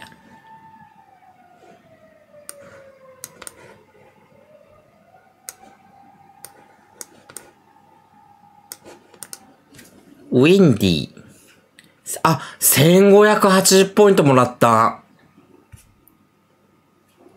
1000円使って580ポイントもらってラッキーじゃん。これね、ポイントに還元できんだって。えっ、ー、とね、ポイント還元ができんのよ、これ。1580、いらなかったらこれポイントに還元して、ま、また1580ポイントもらえるんだよ。雑魚のやつとかね。じゃあポイント還元します。OK? ポイント還元する。1580ポイント。だから1回無料でやって、えっ、ー、と、580ポイントもらっちゃったと。ね？そういうことでしょ？ね？プラスになったと。案件じゃない案件じゃないこれ。で、もう一回やるよもう一回。はい。さあ行きまーす。さあ、どうでしょう？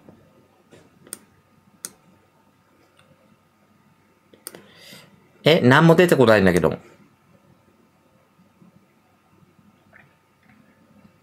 どういうこと？じゃ上、上にもないよ。え？真っ白なんだけど、遅いの？これ。え？外れって、真っ白の外れなんてないよね？え？ちょっと待って。ちょっと待って。ちょっとどっか行っちゃった。ちょっとね。あ、もう一回戻ってきた。え私の今、いや、ポイントも減ってない。バグってこと今の。ポイントも減ってないよ。で、もう一回もう一回。やっぱバグだったんだで、今ね。バグ。ガチャルじゃん。はい、ガチャルピョンと。これがね、なんかね、色が変わっていけばいいんだって。これが変化してね、金色とかレインボーみたいな。あ、出ました。こちらです。えー、っと、石、石炭、石炭山 V780 円だったよ。かす、これ。じゃ、これポイント還元でいいね。ポイント還元して、で、もう一回やればいいんでしょ？で、もう一回ガチャル。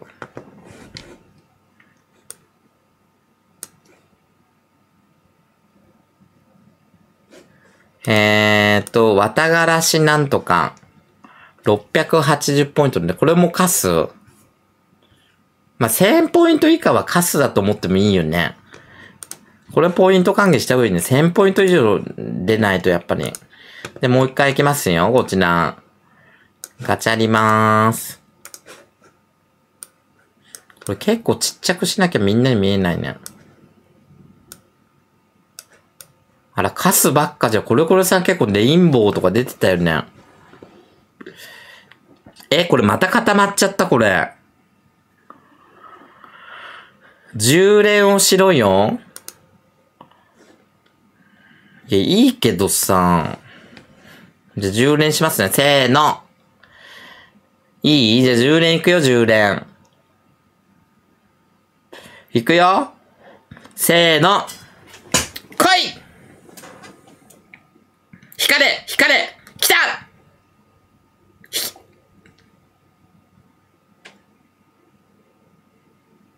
えこれまたさ、白くなってる。これ、脳幹じゃない？脳幹じゃない？まさか。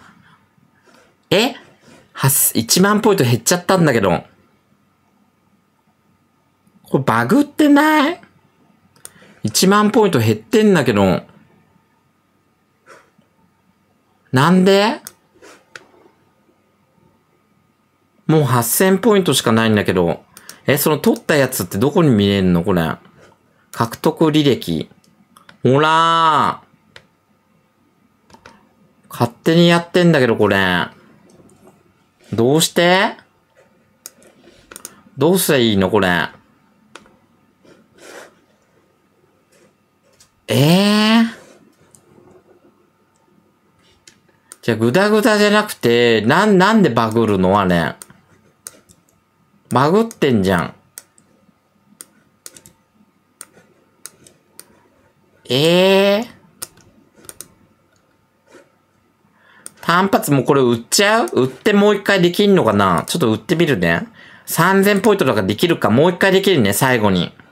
ね、1万1000ポイントで復活したから、もう一度できるってことでしょ、これ。行こう。じゃあ10連ね、10連行くよ、10連。行くよ。光れ、光れ、光れ、光れ。こうね、弾がボンボンボンってなんなきゃダメなの。ブワーンって変化しないと。いく、せーの光れ、光れ。変われ変われ勝ったもう一丁ふざけんなよ、マジで。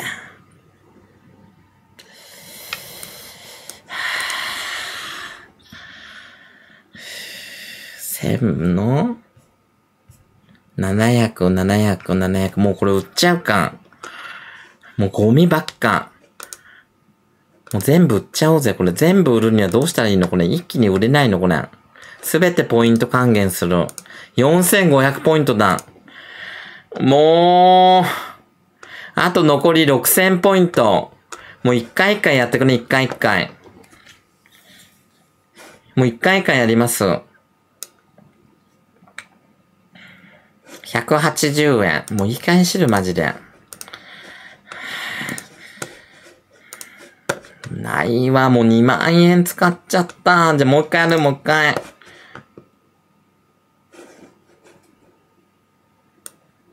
なんでこんな玉でかいの ?3 段180ポイント。おーこれこれさんもなんかサンダーばっか出てたんだよね。じゃあ次、はい、もう一丁。あと4回ぐらいしかできない？あと4回ぐらい？あいけ !1000 円出た1000円。1080ポイント。野郎だって野郎。すごい名前ね。ガールじゃないんだ。野郎なんだね。もうこれか、換金換金。もう一回できる、もう一回。あと4回できるよ、4回。せーの。はい、これザコザコ。これ変化してないからザコ200円。はい、もう、もう、なんかごめんなさい、ちょっと。よしよしよし。じゃあもう一回ね、もう一回。はい、はい、はい、はい。よしよしよしよしよし。よし、行くぜ。よっしょ。うん、うん、うん、うん。惜しい、惜しい。はいはい、3段180円。もういい加減にしろよ、本当に。本当にさ。これさ、出ないんじゃないの？これ。レインボー出てないぜ。やらせだろ、これ。いいにしろよ、本当に。なんだよ、これ。